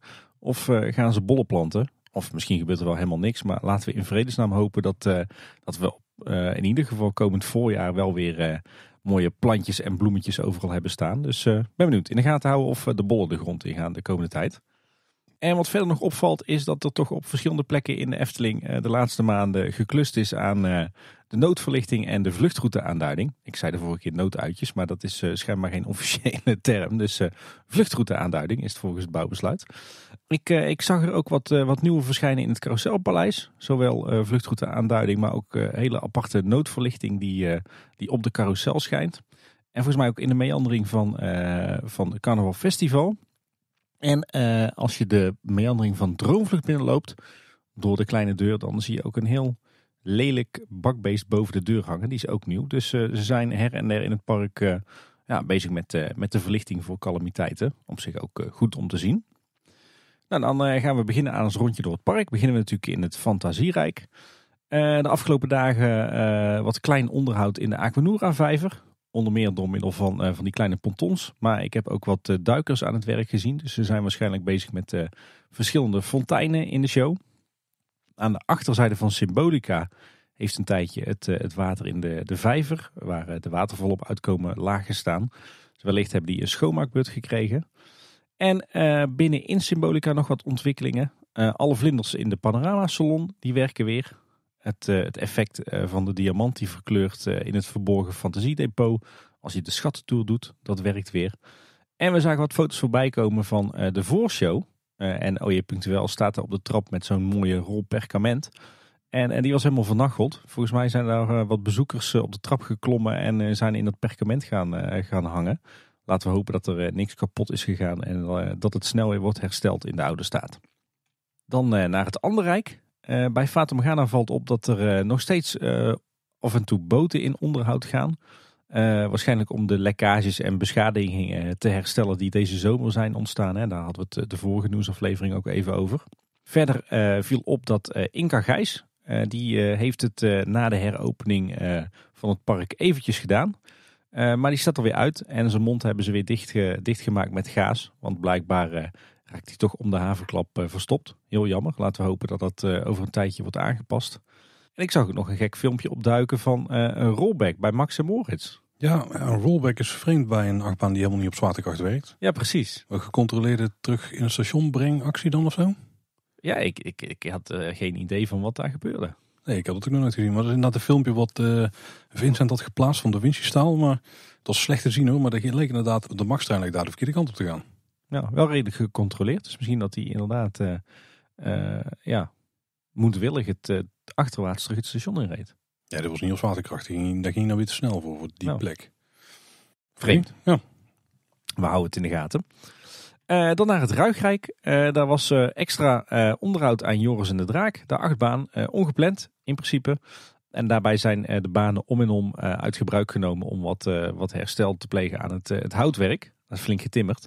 En die werkzaamheden die, die zijn op 26 september gereed. Is inmiddels aangekondigd op de, de Efteling website. De Efteling heeft aan Loopings verteld dat ze op zoek zijn naar een oplossing voor het defecte waterbed van Speelbos Nest. En ze zeggen, we zijn nu op zoek naar een permanente oplossing. Daarover overleggen we momenteel met de leverancier. Oh, ik heb er eentje, gewoon beton instorten. Ja, of een, een airtrampoline. Kom, komt u weer, dan heb je zo'n bult daar in het midden. Als we nou groen maken, past die mooi bij die heuvels. Ja, precies. Of een windroos erop, hè. kan ook. Ja, dat kan ook, ja. Of gewoon een trampoline. Ja, of gewoon volstorten. Misschien gewoon een zandbak van me. Nee, dat is niet zo praktisch. dan ga je met je rolstoel meteen vast. Ja, precies.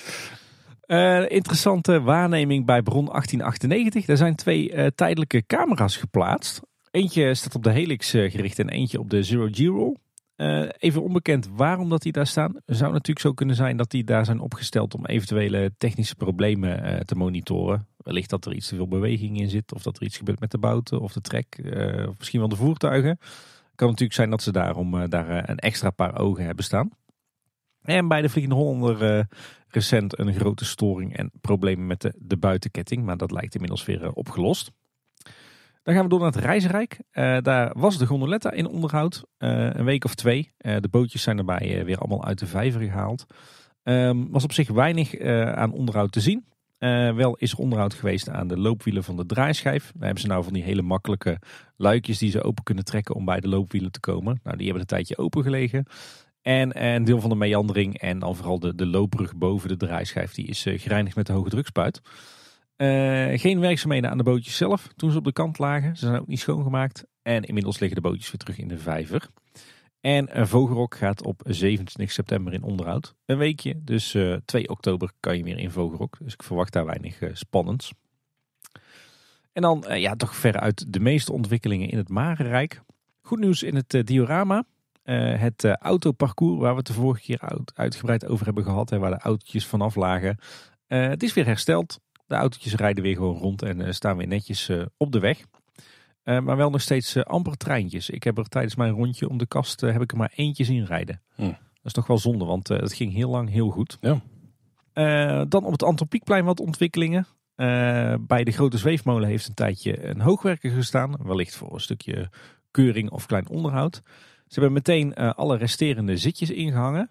Want toen de, de zweefmolen werd opgeleverd, de nieuwe zweefmolen, toen uh, was er al corona. En toen hebben ze slechts uh, de helft van de, de zitjes ingehangen in de zweefmolen. Nou, nu hebben ze de rest ook opgehangen. Dus die kan meteen op volle capaciteit gaan draaien. En ze hebben de, de bakstenen trapjes hebben ze opnieuw gevoegd. En bij de kleine zweefmolen was ook een stijgertje te zien. Daar hebben ze ook alle zitjes weer teruggehangen. En de onvergereden lantaarnpaal bij de Vermolenmolen die is eh, inmiddels vervangen door een nieuw exemplaar. In de speeltuin Kindervreugd is de rolton terug. Die is gerepareerd. En er zijn wat extra uh, lampjes geplaatst uh, langs de paden. Hetzelfde model als daar al stond. En goed nieuws in het Efteling Museum, want de sprookjesquiz werkt eindelijk weer. Dan door naar, naar Droomvlucht. daar viel nog op dat ze nog steeds een stukje inschaduwwerk hebben vergeten te doen. Je hebt namelijk die brug waar je overheen loopt voordat je zeg maar door de grote poort gaat richting de binnenmeandering. Nou, aan je rechterhand zijn er een aantal stukken die zijn netjes wit gesausd, maar die zijn nooit ingeschaduwd. Klein puntje. verder stond er een faun in het Wonderwoud stil. En ik had ontzettend veel geluk, want het Sompenwoud hing vol met een laag mist. Dat was prachtig om weer eens te zien. Geen brandje, Geen Waar we nee. nou over op, sorry. Ja. Ehm, wat me trouwens ook nog opviel is hoe slecht de Sint-Nicolaasfontein er eigenlijk aan toe is. Niet alleen het, het schilderwerk van het beeld, maar er zit ook enorm veel vorstschade op. Eh, de bakstenen van de sokkel waar het beeld op staat, die zijn in een slechte staat. Maar ook bijvoorbeeld de natuursteenafdekkers van de, de bak en de voegen. Um, echt ontzettend veel schade. Dus ik hoop dat ze die fontein binnenkort eens een keertje echt grondig aanpakken. Er is veel kapot aan. Dan door naar het, het Lavelaar. en ja, daar is toch wel een hele verrassende en ja, toch wel redelijk ingrijpende onderhoudsklus.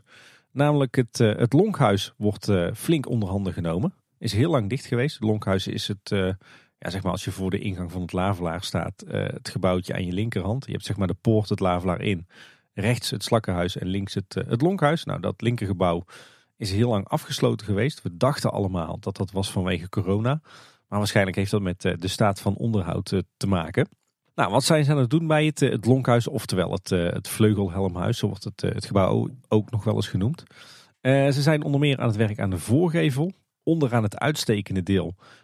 daar, daar zat voorheen een, een houten vakwerkconstructie met daartussenin stukwerk. Blijkt nu dat het een bijzondere constructie was met houten latjes en kippengaas. Waarmee dat ze dat, dat stukwerk er, erop gesmeerd hebben. wellicht dat dat houtwerk rot was of zo. Um, ook aan de zijkant en de achterkant hebben ze uh, die uh, vakwerkconstructie met, uh, met stukwerk erin weggesloopt. Maar ook de hele houten trap aan de kant van het, het kraamhuis, die hebben ze helemaal weggehaald. En her en der in, het, in de gevels ook nog allerlei andere houten planken. Die zijn allemaal verwijderd. In eerste instantie dacht ik dus, misschien hebben ze last van houtrot in dat gebouw. Maar het zou ook zomaar kunnen zijn dat er sprake is geweest van houtborende insecten, zoals dat dan zo mooi heet. Dus wellicht dat ze daar eh, last hebben gehad van de houtworm of de, de boktor of de bonte knaagkever, om er maar zo'n paar te noemen. Uh, dat zou natuurlijk kunnen verklaren waarom het gebouwtje zo lang uh, hermetisch afgesloten is geweest. En waarom ze er nu ineens zo, zo'n groot onderhoud aan uitvoeren. de stalen leuningen en de boutjes en moertjes van de, de grote trap aan de kraamhuiszijde, die, die worden hergebruikt, die zijn apart gelegd. En wat we verder nog zien is dat ook de verlichtingsarmaturen uit elkaar worden gehaald en worden nagekeken dat er ehm, het groen rond een deel van het, uh, het lonkhuis verwijderd is. Evenals de houten schuttingen op eh, de laafmuur. Maar het lijkt erop dat die zijn weggehaald uh, zodat ze stijgers kunnen plaatsen. Want op het moment van opnemen zijn ze druk bezig om het hele gebouw in de stijgers te zetten. Kortom, ja, echt een, een grote beurt voor het lonkhuis. Loopings heeft trouwens nog even navraag gedaan bij de Efteling. Maar er wordt verder geen onderhoud aan andere huisjes in het Lavelaar meer uitgevoerd. Nou uh, valt me toch wel op de laatste jaren dat ze dit uh, ja, heel erg gefaseerd doen. Hè? Dat er ieder jaar wel één of twee huisjes aan de beurt komen. Wat wel nog opviel is dat het, uh, het nieuwe waterrad van Las Brouwhuis het eindelijk doet. Alleen volgens mij moeten ze daar nog een beetje met de, de frequentie van de motor tweaken. Want dat ding dat draait nu met een noodgang rond. En dat is natuurlijk niet de bedoeling. We hadden het net trouwens al even over speeltuin kindervreugd. Een aantal dingen die daar zijn gemaakt. Maar uh, wat daar ook nog opvalt is dat het uh, een van de bankjes in de apenmolen is afgezet. Daar uh, is het houtwerk kapot van. Door naar het Sprookjesbos. een aantal interessante dingen daar. Er wordt nog steeds hard gewerkt bij Pinocchio. De monstervis die staat daar nog helemaal in de stijgers. Die is inmiddels geschilderd en ingeschaduwd. dus hopelijk kan de stijger daar binnenkort weg. En dan ziet die vis er weer uit als nieuw. En er was een luisteraar die viel het ook nog op dat uh, ook de schildering op het, uh, het huisje bij de Vos en de Kat opnieuw is uh, aangebracht. Dat is zeg maar dat huisje waar vroeger kapitein Gijs in stond. En dan een heel mooi onderhoudsproject natuurlijk bij de Indische waterlelies. Daar zijn inmiddels eindelijk alle nieuwe flagstones gelegd. op het paadje zeg maar, vanaf het Herautenplein naar de ingangsgrot. En hoogstwaarschijnlijk ook op het hele binnenplein zelf. Dat kunnen we natuurlijk niet zien. Um, dat was een project dat stond al heel lang op de rol. Alleen het werd telkens uitgesteld en geannuleerd omdat het uh, niet mogelijk was om aan uh, ja, zeg maar stenen te komen die uh, heel erg goed leken op wat er, wat er sinds 1966 lag. En des te verrassender was het eigenlijk dat de, de, de waar ze nu voor hebben gekozen, die ze nu hebben aangekocht, dat die ontzettend goed lijken op de oorspronkelijke tegels daar. want er liggen niet zomaar die terracotta flexstones die je overal in de Efteling ziet. Nee, er ligt eigenlijk een, uh, ja, een mengelmoes aan allerhande tinten van uh, natuursteen flagstones. lichtgeel, donkergeel, donkerblauw. Er ligt zelfs wat rood doorheen. Heel erg gemêleerd en ook best wel kleurrijk. Maar ehm, ja, volgens mij, wat ik me kan herinneren, is dit een beetje de kleurencombi die er, die er vroeger altijd lag. En die langzaam maar zeker is, is vervaagd door al die flexzones die kapot zijn gegaan door de vorst en door slijtage. Ja, en dit vloertje, dat ziet er echt prachtig uit.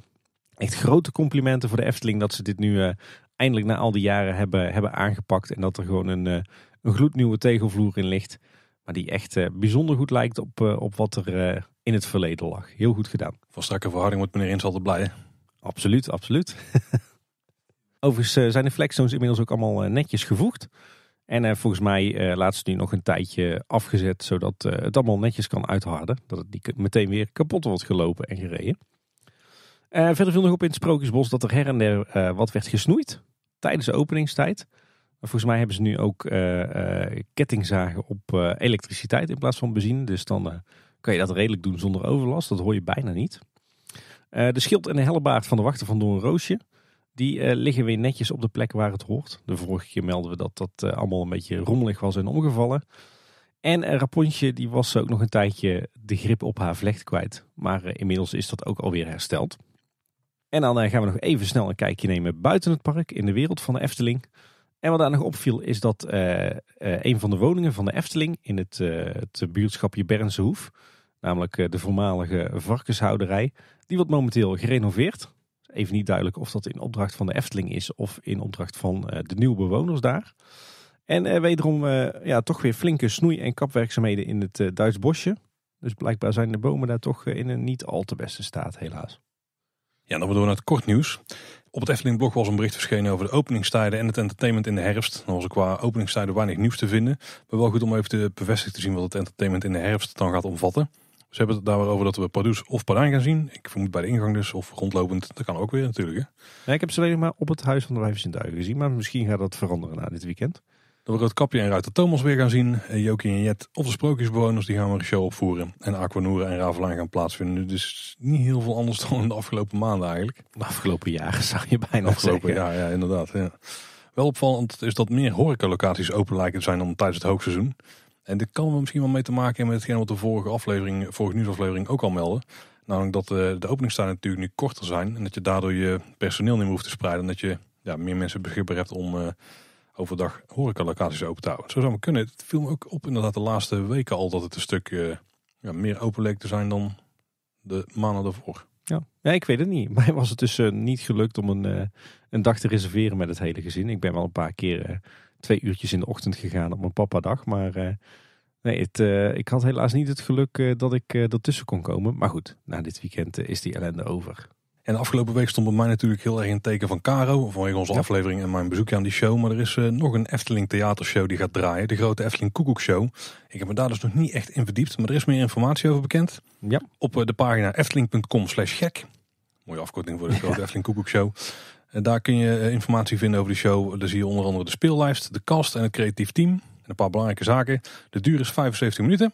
En hij gaat draaien van oktober 2021 tot mei 2022 in eh, zowel Vlaanderen als Nederland. En eh, je kunt een teaser checken al online, maar die is vrij cryptisch nog. Ja, die is redelijk vaag. Die, ik heb eigenlijk nog steeds niet echt een beeld erbij wat dit nou precies voor show gaat worden. Terwijl ik, ik heb me er toch redelijk in verdiept, maar ik heb er nog steeds niet echt een gevoel bij wat we nou gaan zien. Maar goed, aan de andere kant, we, we horen ook niet echt bij de doelgroep en onze kinderen ook niet. Dus ik vraag me ook af of we er werkelijk wat van gaan zien. Nou, mocht je die show ooit gaan eh, checken, laat ons dan een beetje globaal weten wat er gebeurt. Kunnen we delen met de luisteraars. Ja, een review is altijd welkom. Tim, een van de dingen waar wij beide naar uitkijken, want het duurt uh, nog maar een uh, kleine week op het moment dat de aflevering uitkomt, ja. is de première van de nieuwe documentaire van de Vijf Zintuigen over Fata Morgana, Making of the Verboden Stad. En in het Brabants Dagblad werd er aandacht aan geschonken, heel tof. Ja. Door middel van een interview met Marvin en Sander. Een uitgebreid artikel, meer dan een pagina groot. En heel interessant om, om te lezen. We zullen de link in de show notes plaatsen, dan kan je allemaal meelezen. Uh, wat misschien nog wel goed is uh, voor onze luisteraars om te weten, is dat er dankzij de versoepeling van de coronamaatregelen nu extra kaartjes beschikbaar zijn voor de première op 3 eh, oktober. op het moment van opnemen zijn er voor de, de echte première om 1 uur s middags nog 70 tickets beschikbaar. En zelfs nog 90 voor de, de avondpremière om half 7. Dus dat is Nou, zijn toch weer fors meer plaatsen. Dus mocht je er toch bij willen zijn uh, in de voorste venne, sla je slag op de website van de Vijf Zintuigen. En uh, bezoek je de vroege show, dan heb je een vrij grote kans om ons te spotten. Dus Rob Jansen, niet komen dan. Wat trouwens wel nog even goed is om te weten, is dat als je naar de première gaat, dat je ook een coronabewijs moet hebben. Merkte dat dat bij een aantal van onze luisteraars niet helemaal tussen de oren zat. Maar let eens even op, je moet ingeënt zijn of getest. Of in de afgelopen zes maanden hersteld zijn van een corona-infectie.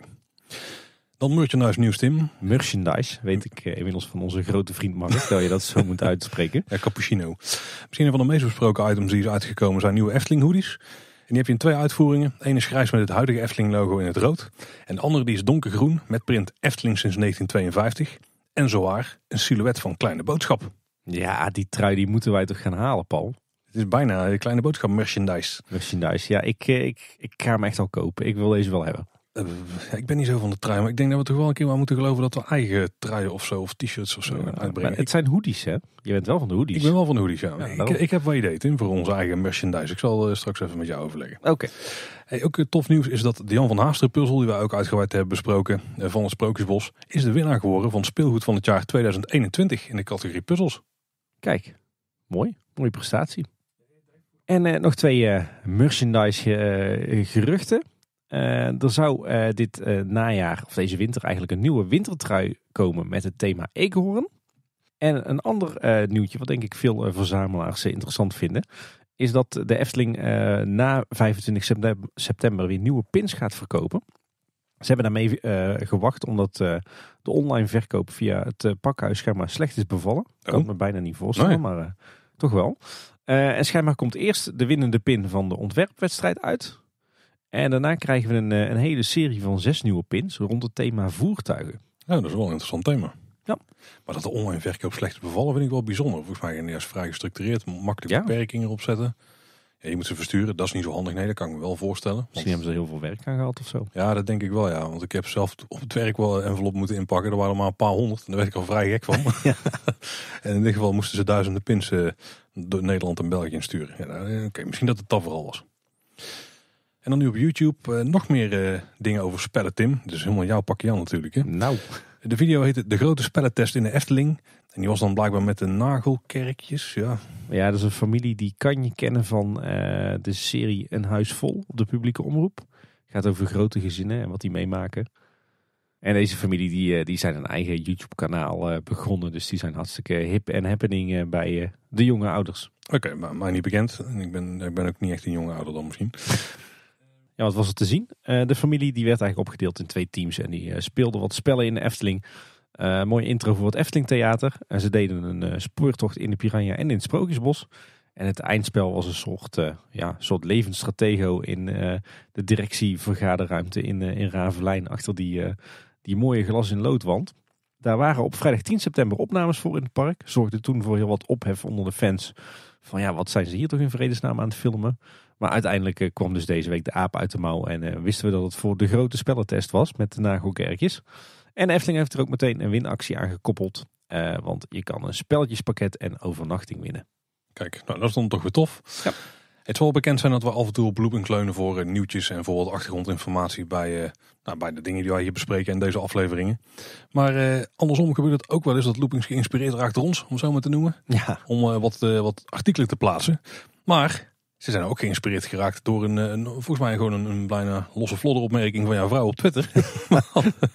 Want er werd een, eh, zowaar een artikel gewijd aan het eventueel contactloos betalen bij Ezeltje Strekje. Ja, ik weet niet of Anne nou eh, echt de eerste was die erover begon. Maar uh, zoals inderdaad wel vrij helder dat haar dat een, een goed idee leek. Maar Wessel die heeft dat voorgelegd aan de Efteling. En de woordvoerder daar, ik denk onze Steven, die geeft aan het is best een moeilijke afweging. De handeling van het betalen met een muntje is een stukje nostalgie, maar contactloos betalen zou het wel wat eenvoudiger maken.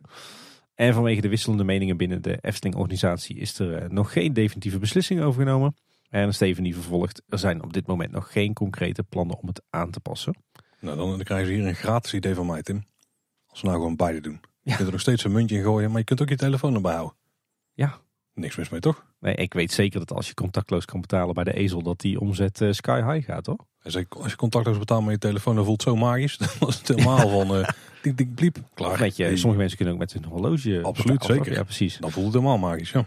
Ja, nee, volgens mij zou het een enorme omzetboost zijn. En inderdaad, als je het gewoon eh, heel subtiel wegwerkt, eh, en dat kan tegenwoordig, dan, eh dan stoort dat toch helemaal niet de beleving. Nee, dat denk ik ook niet. Nog wat kleine dingetjes. De Efteling die eh, test momenteel met een tijdelijke entree voor grote groepen. eh, voor mijn gevoel met name schoolreisjes. Via eh, de poort achter de Python.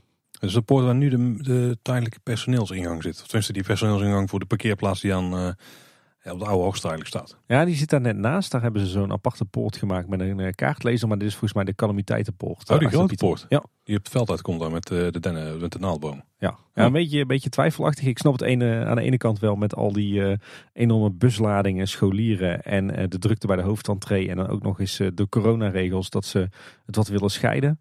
Aan de andere kant, je hebt wel echt een, een hele minderwaardige entree. Als je Ja. via een of andere dienstpoort het park wordt binnengelaten. Dan zie je de, de back of the house van de Oost en die tijdelijke toiletgroep. En de technische ruimte van de Python. Dat is nou niet echt...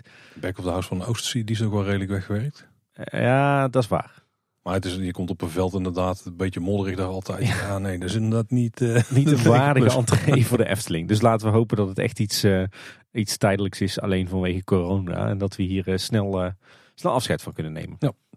En nog meer goed nieuws trouwens voor de Efteling abonnementhouders. 4 december 2021 was eh, in eerste instantie zo'n dag dat je niet het park in zou kunnen met je abonnement. Maar je hebt toch toegang op die dag. Ja, die hebben ze nu al vrijgegeven. Heel netjes. En de Golden Ticket Awards 2021 die zijn ook weer uitgereikt. Er zijn prijzen die het tijdschrift Amusement Today uitschrijft. Ja, uit Amerika. Ja, en die gebruiken volgens mij een vakjury. Dus dat is wel iets beter dan, eh, een aantal andere awards die we wel eens aanhalen. Europa Park was daar denk ik wel de grote winnaar. Die had vrij veel awards in de wacht gesleept, waaronder het beste park ter wereld. Ja, Fantasieland deed overigens ook heel goed. Eh, De Efteling eh, heeft natuurlijk ook wel wat gewonnen. Tenminste gewonnen de tweede plek voor het mooiste park. Na Dollywood. Dat vind ik wel bijzonder. Ben er nooit geweest. Dollywood wil ik al heel graag heen trouwens ooit een keer. Ja, ik ben er ook nog nooit geweest. Ik heb er ook niet veel van gezien. Maar ja, plek. Ja, het ligt in een natuurpark. Hè? In, de Pigeon, of in eh, de Smoky Mountains volgens mij. In Pigeon Forge.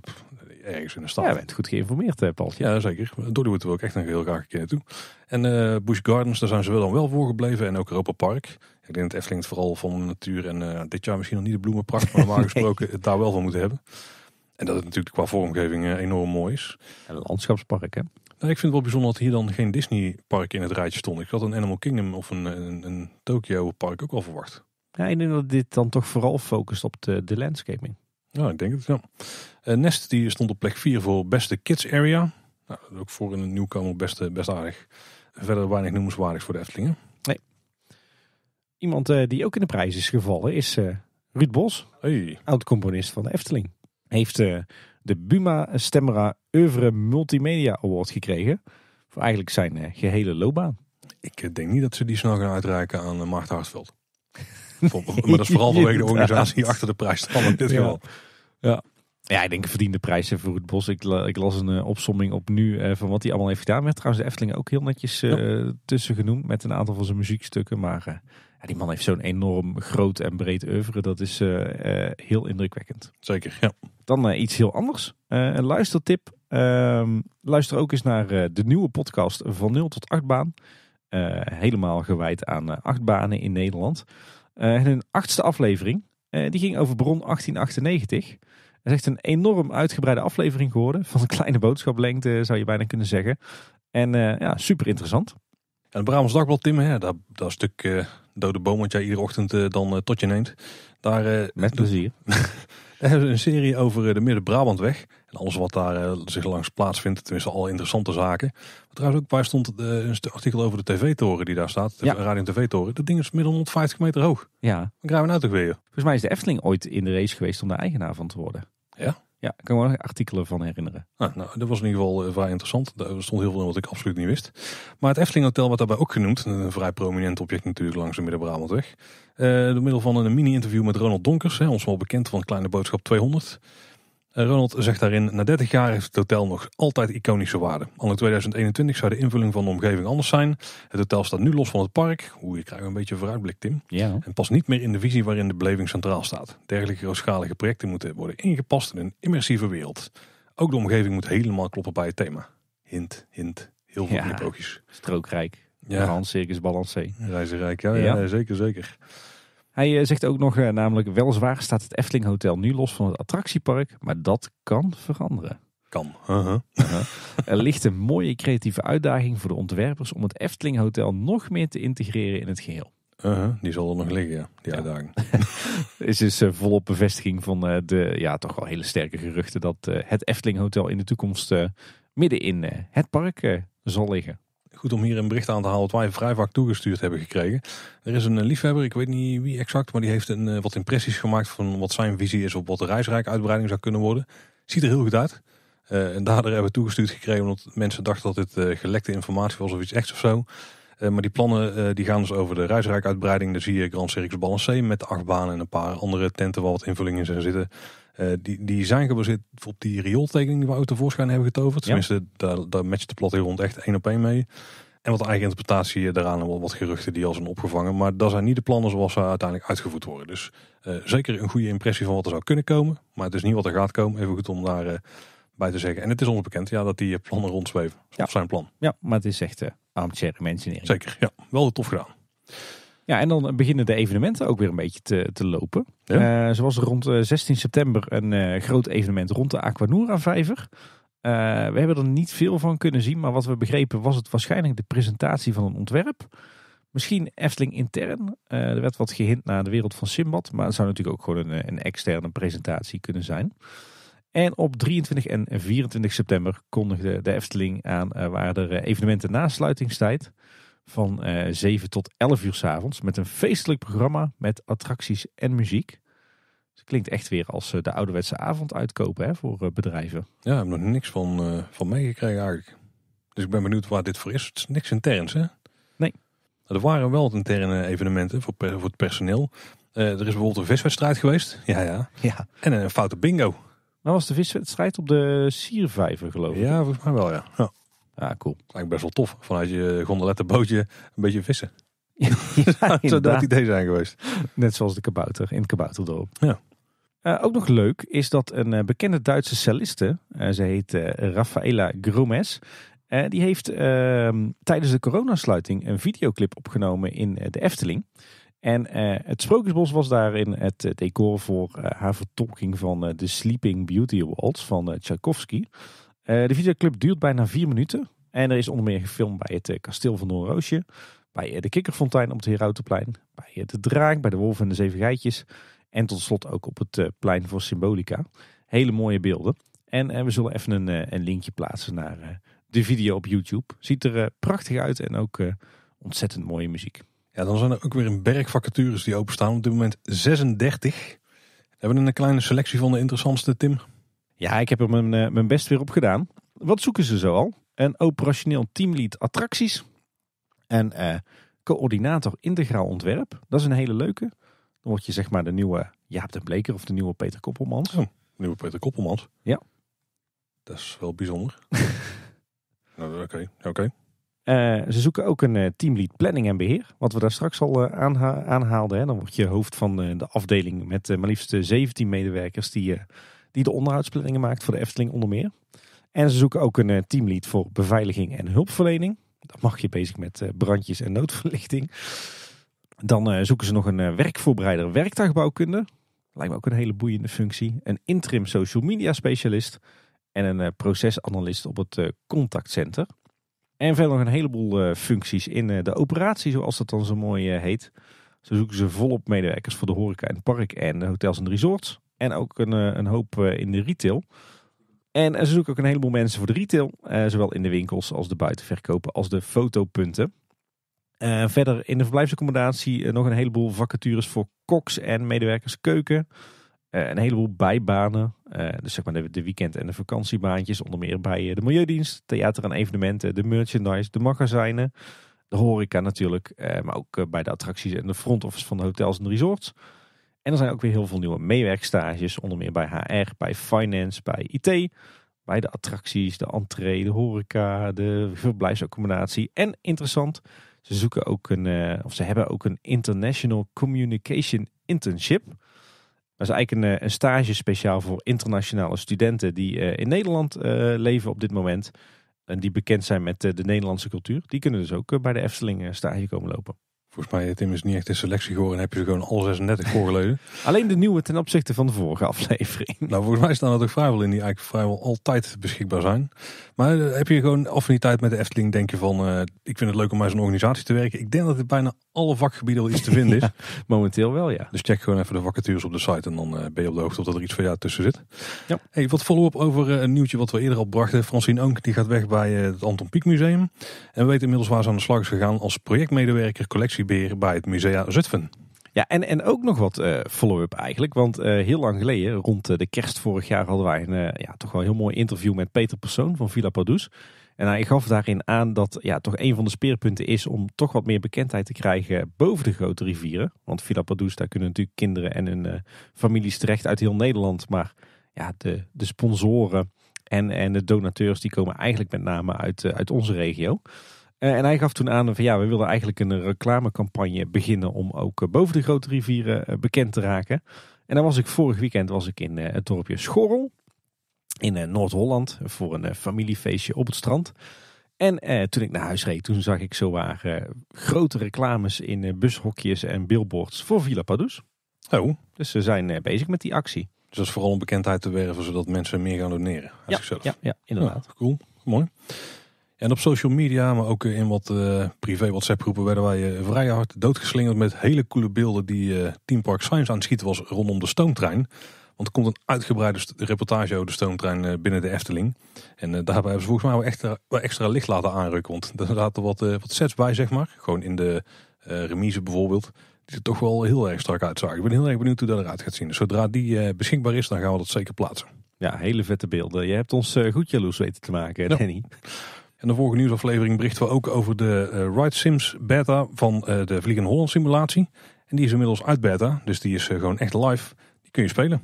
Nou, ik zie nu dat je wel een, een betaalde account moet hebben of zoiets. Oh, dat is maar niet bekend. Nou, mocht je dat ervoor over hebben, dan weet je in ieder geval waar je het kunt vinden. Ridesims.com. Jeetje, die, ik zit er nou te scrollen over die website. Die hebben ongelooflijk veel, veel simulaties. Ja. Jeetje, Mina. Het is pas een uit de hand gelopen hobby. En we kregen nog een, een leuk berichtje van luisteraar Ruben. En die kwam namelijk de bank, de grote opgeblazen kunststof zitbank die een tijdje op het Dwarrelplein heeft gestaan. En die natuurlijk waar een geldautomaat in zat van ABN AMRO. die is een heel aantal jaar geleden alweer verwijderd uit het park. En Ruben die kwam de bank tegen in Sprookjeswonderland Enkhuizen. De staat, van, de staat van de bank is niet helemaal tip-top. En je ziet er ook vrij goed wel waar de pinautomaat heeft gezeten. Ja. Dus uh, nou, check de foto's in ieder geval die we in het linkje in de show notes hebben geplaatst. Ja. Hij heeft wel een ander kleurtje gekregen, de bank. Ja, dat sowieso, ja. Ja, dan uit de periferie, Tim, is er ook nog van alles te melden. Nou, is trouwens eentje, die kan ik wel mooi meepikken. Zaterdag, uh, vrijdag 17 en zaterdag 18 september vond namelijk het Fairytale Festival alsnog plaats. Dat is het uh, lokale dancefestival, hè, wat uh, ja, lichte linkjes heeft met de Efteling. Als in, daar vindt het in de buurt plaats. En het sprookjesthema wat eraan zit is natuurlijk uh, ook geïnspireerd op de Efteling. Nou, er is nog een sterker uh, link. Want in de eerste jaren van het Fairytale Festival vond dat plaats op uh, het terrein van de Efteling. Namelijk waar in de toekomst wellicht de Second Gate gaat, gaat ja, komen. zeker. Dat is een paar jaar geweest zelfs. Ja. Oh. Ik weet niet waar het nu exact plaatsvond. Nog steeds van de Kaatsheuvel. Het was dit keer maar voor 750 bezoekers. Want toen waren de coronamaatregelen nog vol een bak van toepassing. En er was een tiergarden en een beergarden. En werd uiteraard de dansmuziek gedraaid. Anne van Aert, onze burgemeester, die was er heel erg positief over. Eindelijk weer eens een feestje in Kaatsheuvel, zegt ze. De mannen van Fairytale Festival hebben een intieme topeditie neergezet. En het smaakt naar meer. Op naar 2022. Ja, volgens mij heeft Hanne daar ook gewoon een avondje lopen reven. Lopen socializen. Ja. We hadden het eerder al over de go-sharing scooters die nu gaan verschijnen in Kaatsheuvel, Loon op Zand en de Moer. De drie dorpen hier in de gemeente. En inmiddels is het uh, besluit genomen dat uh, dat uh, vanaf oktober gaat lopen met 50 scooters. En als, er, als het heel populair is, dan wordt het er zelfs 100. En verder nog een interessant berichtje over het nieuwe Schoenenmuseum in Waalwijk. Dat opent begin volgend jaar zijn deuren. En het doel is om het naast de Efteling, de Loons en Drunense Duinen en de vesting Heusden... Het, het vierde toeristische icoon van de Langstraat te maken. Ja, daar ben ik wel benieuwd naar. Ik, het is gewoon in het oude stadhuis, toch? Ja, van architect uh, Kropholler. Ja, die heeft wel meerdere stadhuizen gedaan. Ja. Nou, ik, ik, ben benieuwd, wat zo super iconisch ziet het er nu nog niet uit. Nee, niet echt. Wel mooi om het uh, stadhuis te bezoeken. Ja. En uh, nog wat vervelend nieuws hier uit de gemeentepolitiek. Want wethouder Frank van Wel van de VVD, was onder andere verantwoordelijk voor financiën in onze gemeente. Die is deze week plotseling opgestapt na beschuldigingen over ongepast gedrag richting een, een ambtenaar in de gemeentelijke organisatie. En daar komen we uit bij onze befaamde rubriek. En dan nog dit. Nou, ik heb eigenlijk, eigenlijk, niks, Tim. Behalve dan één vooraankondiging. Er komt een buitenwereld aan over onze afgelopen vakanties kun je binnenkort luisteren op kleineboodschap.com slash de buitenwereld of in je podcast app. Dus zoek hem daar alvast even op. Zorg dat je abonneert. Dan komen die avonturen vanzelf daar terecht. Kijk, mooi. Ja, Tim, heb jij nog wat uh, interessante dingen gedaan? Ja, eigenlijk wel. ik kon niet naar de Efteling omdat we niet aan de reservering konden komen. Dus ja, dan ga je maar andere dingen doen. Um, we hebben eindelijk weer eens lekker de tijd genomen voor de Loons en Duinen. Lekker een dagje gaan uh, fietsen en in het stuifzand gespeeld en uh, lekker gepicnict. Zullen we over een tijdje gaan we ook een aflevering maken met praktische tips voor mooie dingen die hier in de omgeving eh, kan doen. En dan komt hij zeker ook langs, want eh, dat is toch wel een verborgen pareltje hier. We zijn ook weer uh, lekker naar Safari Park Beekse Bergen geweest. Natuurlijk ook nog steeds een abonnement, dus dat is ook nog steeds een thuispark van ons. Eindelijk de nieuwe zwarte neushoorn buiten zien rondlopen. En dan hebben ze trouwens ook heel slim weer een nieuw horecapuntje gemaakt.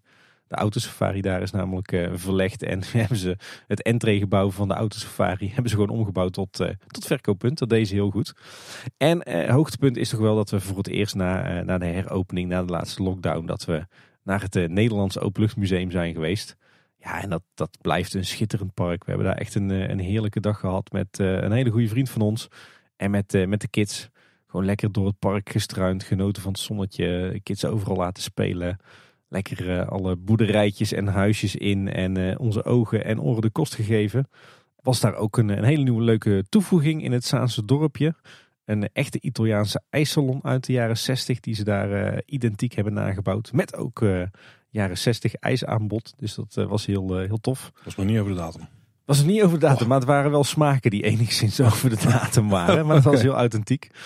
En het uh, was wel leuk. De jongste die, uh, die wou per se in alle huisjes. Dus ik, ben, ik heb meer boerderijtjes en huisjes van binnen gezien dan, uh, dan in hele lange tijd.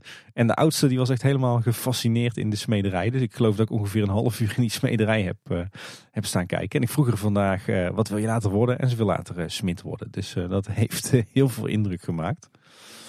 Uh, verder nog, uh, Anne heeft een, uh, een leuk artikel geschreven over Paradisa op, op wegmetmama.nl. Dus als je een beetje enthousiast bent geraakt naar mijn verhalen over Paradisa, ga dan ook zeker die blog eens lezen voor meer info. En wij werden thuis ook wel heel erg enthousiast over het, het nieuws dat de Westfield Mall of the Netherlands, een hele mond vol in Leidschendam, een nieuwe shoppingmall, een Peppa Pig pretpark krijgt van de Merlin Group. Eh, van 1500 vierkante meter.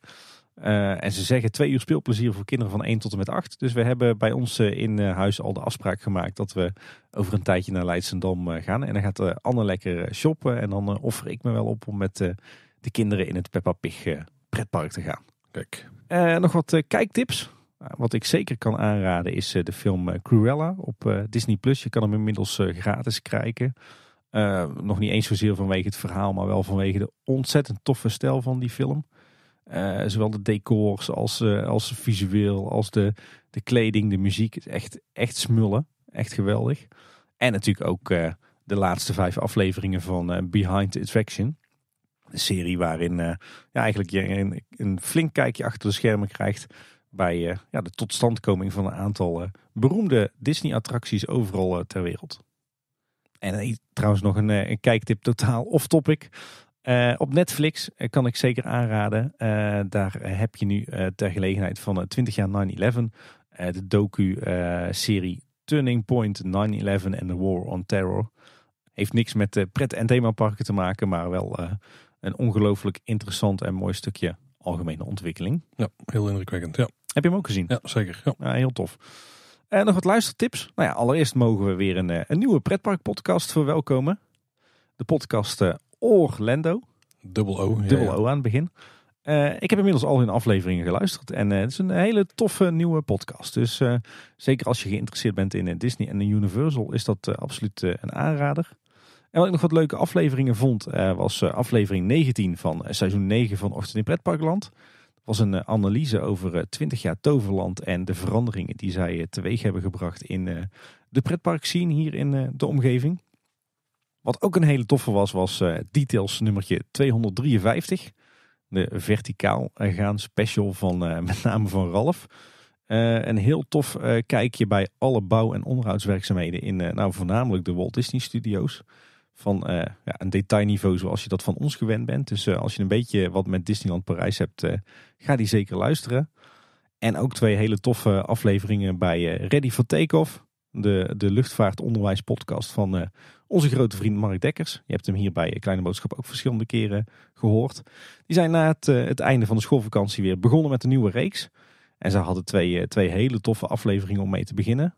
Een, een exclusief interview met niemand minder dan André Kuipers. Zo, ja, die was heel tof. Ja, echt een dikke aanrader. Ja, absoluut. Duurde flink lang voor hun doen, maar was, iedere seconde was ongelooflijk interessant. Dus een heel tof inkijkje in ja, de ruimtevaart eigenlijk. Ja. En ook de aflevering daarna, daar hadden ze een uh, uitgebreid interview met de Airport Operations Manager van Eindhoven Airport. Daar kreeg je een heel tof inkijkje in wat er allemaal op een vliegveld gebeurt op een dag. Ook heel tof. En dan hebben we ook nog een, reactie van een luisteraar die we graag willen behandelen. We kregen namelijk een berichtje van Guido via Instagram en die schrijft... Hey Paul en Tim, mijn vrouw zat zojuist met onze kleine Bo van de Efteling te kijken en toen had ze ineens een vraag. Ze vraagt mij, want ze vindt dat ik veel weet over de Efteling, maar alle credits voor jullie. Dankjewel. Hebben ze bij de Efteling een schoonmaakster of ploeg die alle dark ride sprookjes et cetera poetst? Als ik er zo over nadenk, zie ik inderdaad weinig tot nooit echt stof liggen, mits het daar bewust hoort. Er zijn inderdaad een paar plekken waarbij dat geval is. Maar hoe werkt dat? Met vriendelijke groet Guido, een trouwe luisteraar. Nou Tim, jij weet het denk ik nog het beste. Want ik had al het idee dat uh, mensen die bij de attracties werken voor een deel van voor de schoonmaak verantwoordelijk zijn, maar niet binnen de attracties. Hè? Nee, klopt inderdaad. Je hebt inderdaad gewoon het reguliere schoonmaakwerk. En dat, dat ligt bij de Efteling eigenlijk gewoon op de vloer. Dus je hebt niet echt een speciale schoonmaakafdeling. Er zijn natuurlijk wel aparte uh, toiletdames uh, en een schoonmaakbedrijf voor de verblijfsaccommodaties. Maar in het park doet eigenlijk het, uh, maakt het attractiepersoneel gewoon de attractie schoon waar ze staan. En het horecapersoneel het horecapunt. Maar met attractie schoonmaken bedoel je dus wachtrij, opstaphal, buitengebied, dat soort dingen? Precies. Uh, onderschat dat niet, want als je wilt kan je bij de Efteling de hele dag poetsen, poetsen, poetsen. Maar inderdaad, echt scènes schoonmaken, dat, uh, dat doet niet het normale parkpersoneel. Dat uh, gebeurde vroeger in de winters, door de winterploeg. en tegenwoordig gaat het natuurlijk niet meer met, um, met de jaar rond openstelling. Dus nu wordt dat gewoon meegenomen in het, het onderhoud. Dus als een attractie een tijdje dicht is, een weekje of een paar dagen, dan wordt het, het schoonmaken van de scènes in die tijd meegenomen door ja, soms door uh, uh, gespecialiseerde onderhoudsmedewerkers en soms ook met uh, een delegatie van de mensen die normaal gesproken op die attractie staan. Maar dat maakt nu dus echt onderdeel uit van, ja, van het onderhoud eigenlijk. Dus de laagstof die wordt naarmate een attractie langer uit onderhoud is wel wat groter of wat dikker. Ja. Maar die krijgt nooit de kans om echt te settelen, want dan wordt hij vast wel weer een keer in onderhoud eh, geplaatst en schoongemaakt. Ja, en uh, ik weet uit mijn tijd nog bijvoorbeeld dat uh, de showtjes van Lavelaar of van het Sprookjesbos, dat we die ook vaak s ochtends een keertje deden in de rustige periodes. Nou, zo hopelijk een beetje antwoord Guido en dan kun je nog extra indruk maken bij je vrouw. Ja, je moet bij ergens indruk mee maken, toch? ja, kennis kan eraan bijdragen blijkbaar. Nou, dat was u voor deze aflevering. Wil je zelf ook een vraag aan ons stellen? Nou, dat kan via veel verschillende manieren. Uh, die kun je eigenlijk allemaal vinden op onze website. Als je naar kleineboodschap.com slash volgen gaat, dan vind je daar alle plekken waar wij te volgen zijn. Zoals op Twitter, Instagram, Facebook, uh, zelfs op YouTube. Ja, en als je ons wil mailen, dan uh, kan het op info.kleineboodschap.com. En wat we ook heel tof vinden is als je in een podcast app luistert waar je een review kunt achterlaten, om dat dan ook te doen. we hebben er weer eentje binnengekregen, Tim, van JV84. De usernames bij Apple zijn altijd zeer indrukwekkend, vind ik. Hij schrijft, kijk er iedere week naar uit. Favoriete podcast over mijn favoriete onderwerp, natuurlijk de Efteling. Tim en Paul hebben allebei een fijne stem om naar te luisteren en weten ontzettend veel. Als je denkt dat je alles al weet, komt er toch weer iets nieuws naar boven. Ik hoop dat jullie nog lang doorgaan. Nou, dankjewel. En we moeten daarbij ook zeggen dat uh, wij weten uh, zeker niet alles, maar we hebben heel veel mensen om ons heen. Ook heel veel luisteraars die altijd informatie aandragen. Dus het is iets wat vanuit de hele community komt. En soms doen we gewoon net alsof we overal verstand van hebben. Dat is absoluut. Ja. Kan ik niet ontkennen. Nou, wil je zelf een reviewtje achterlaten, zouden we dus nogmaals eh, heel tof vinden. Maar als je dan toch al in de podcast app zit, zoals Apple Podcasts, Spotify of uh, Overcast, mijn favoriet, abonneer je even. Dan krijg je iedere maandag een nieuwe kleine boodschap in je feed. En we hebben natuurlijk ook uh, nog onze website, kleineboodschap.com. Daar vind je onder meer een contactformulier, uh, alle show notes bij de aflevering. En je kunt daar sowieso alle bijna 250 afleveringen van de Kleine Boodschap en de buitenwereld terugluisteren bijna 250 team. Ik kom misschien niet aan. Probeer op dit moment wat dingen te regelen. Als we daar meer van weten, dan communiceren we direct naar jullie. Ja, dat staat nog allemaal een beetje op uh, losse schroeven. Dus uh, voor het onderhoudsblokje, zullen we maar zeggen. Maar we zijn er mee, maar we zijn er mee bezig. Ja. Dat was in ieder geval weer voor deze week. Bedankt voor het luisteren. Tot de volgende keer. En houdoe. Houdoe waar.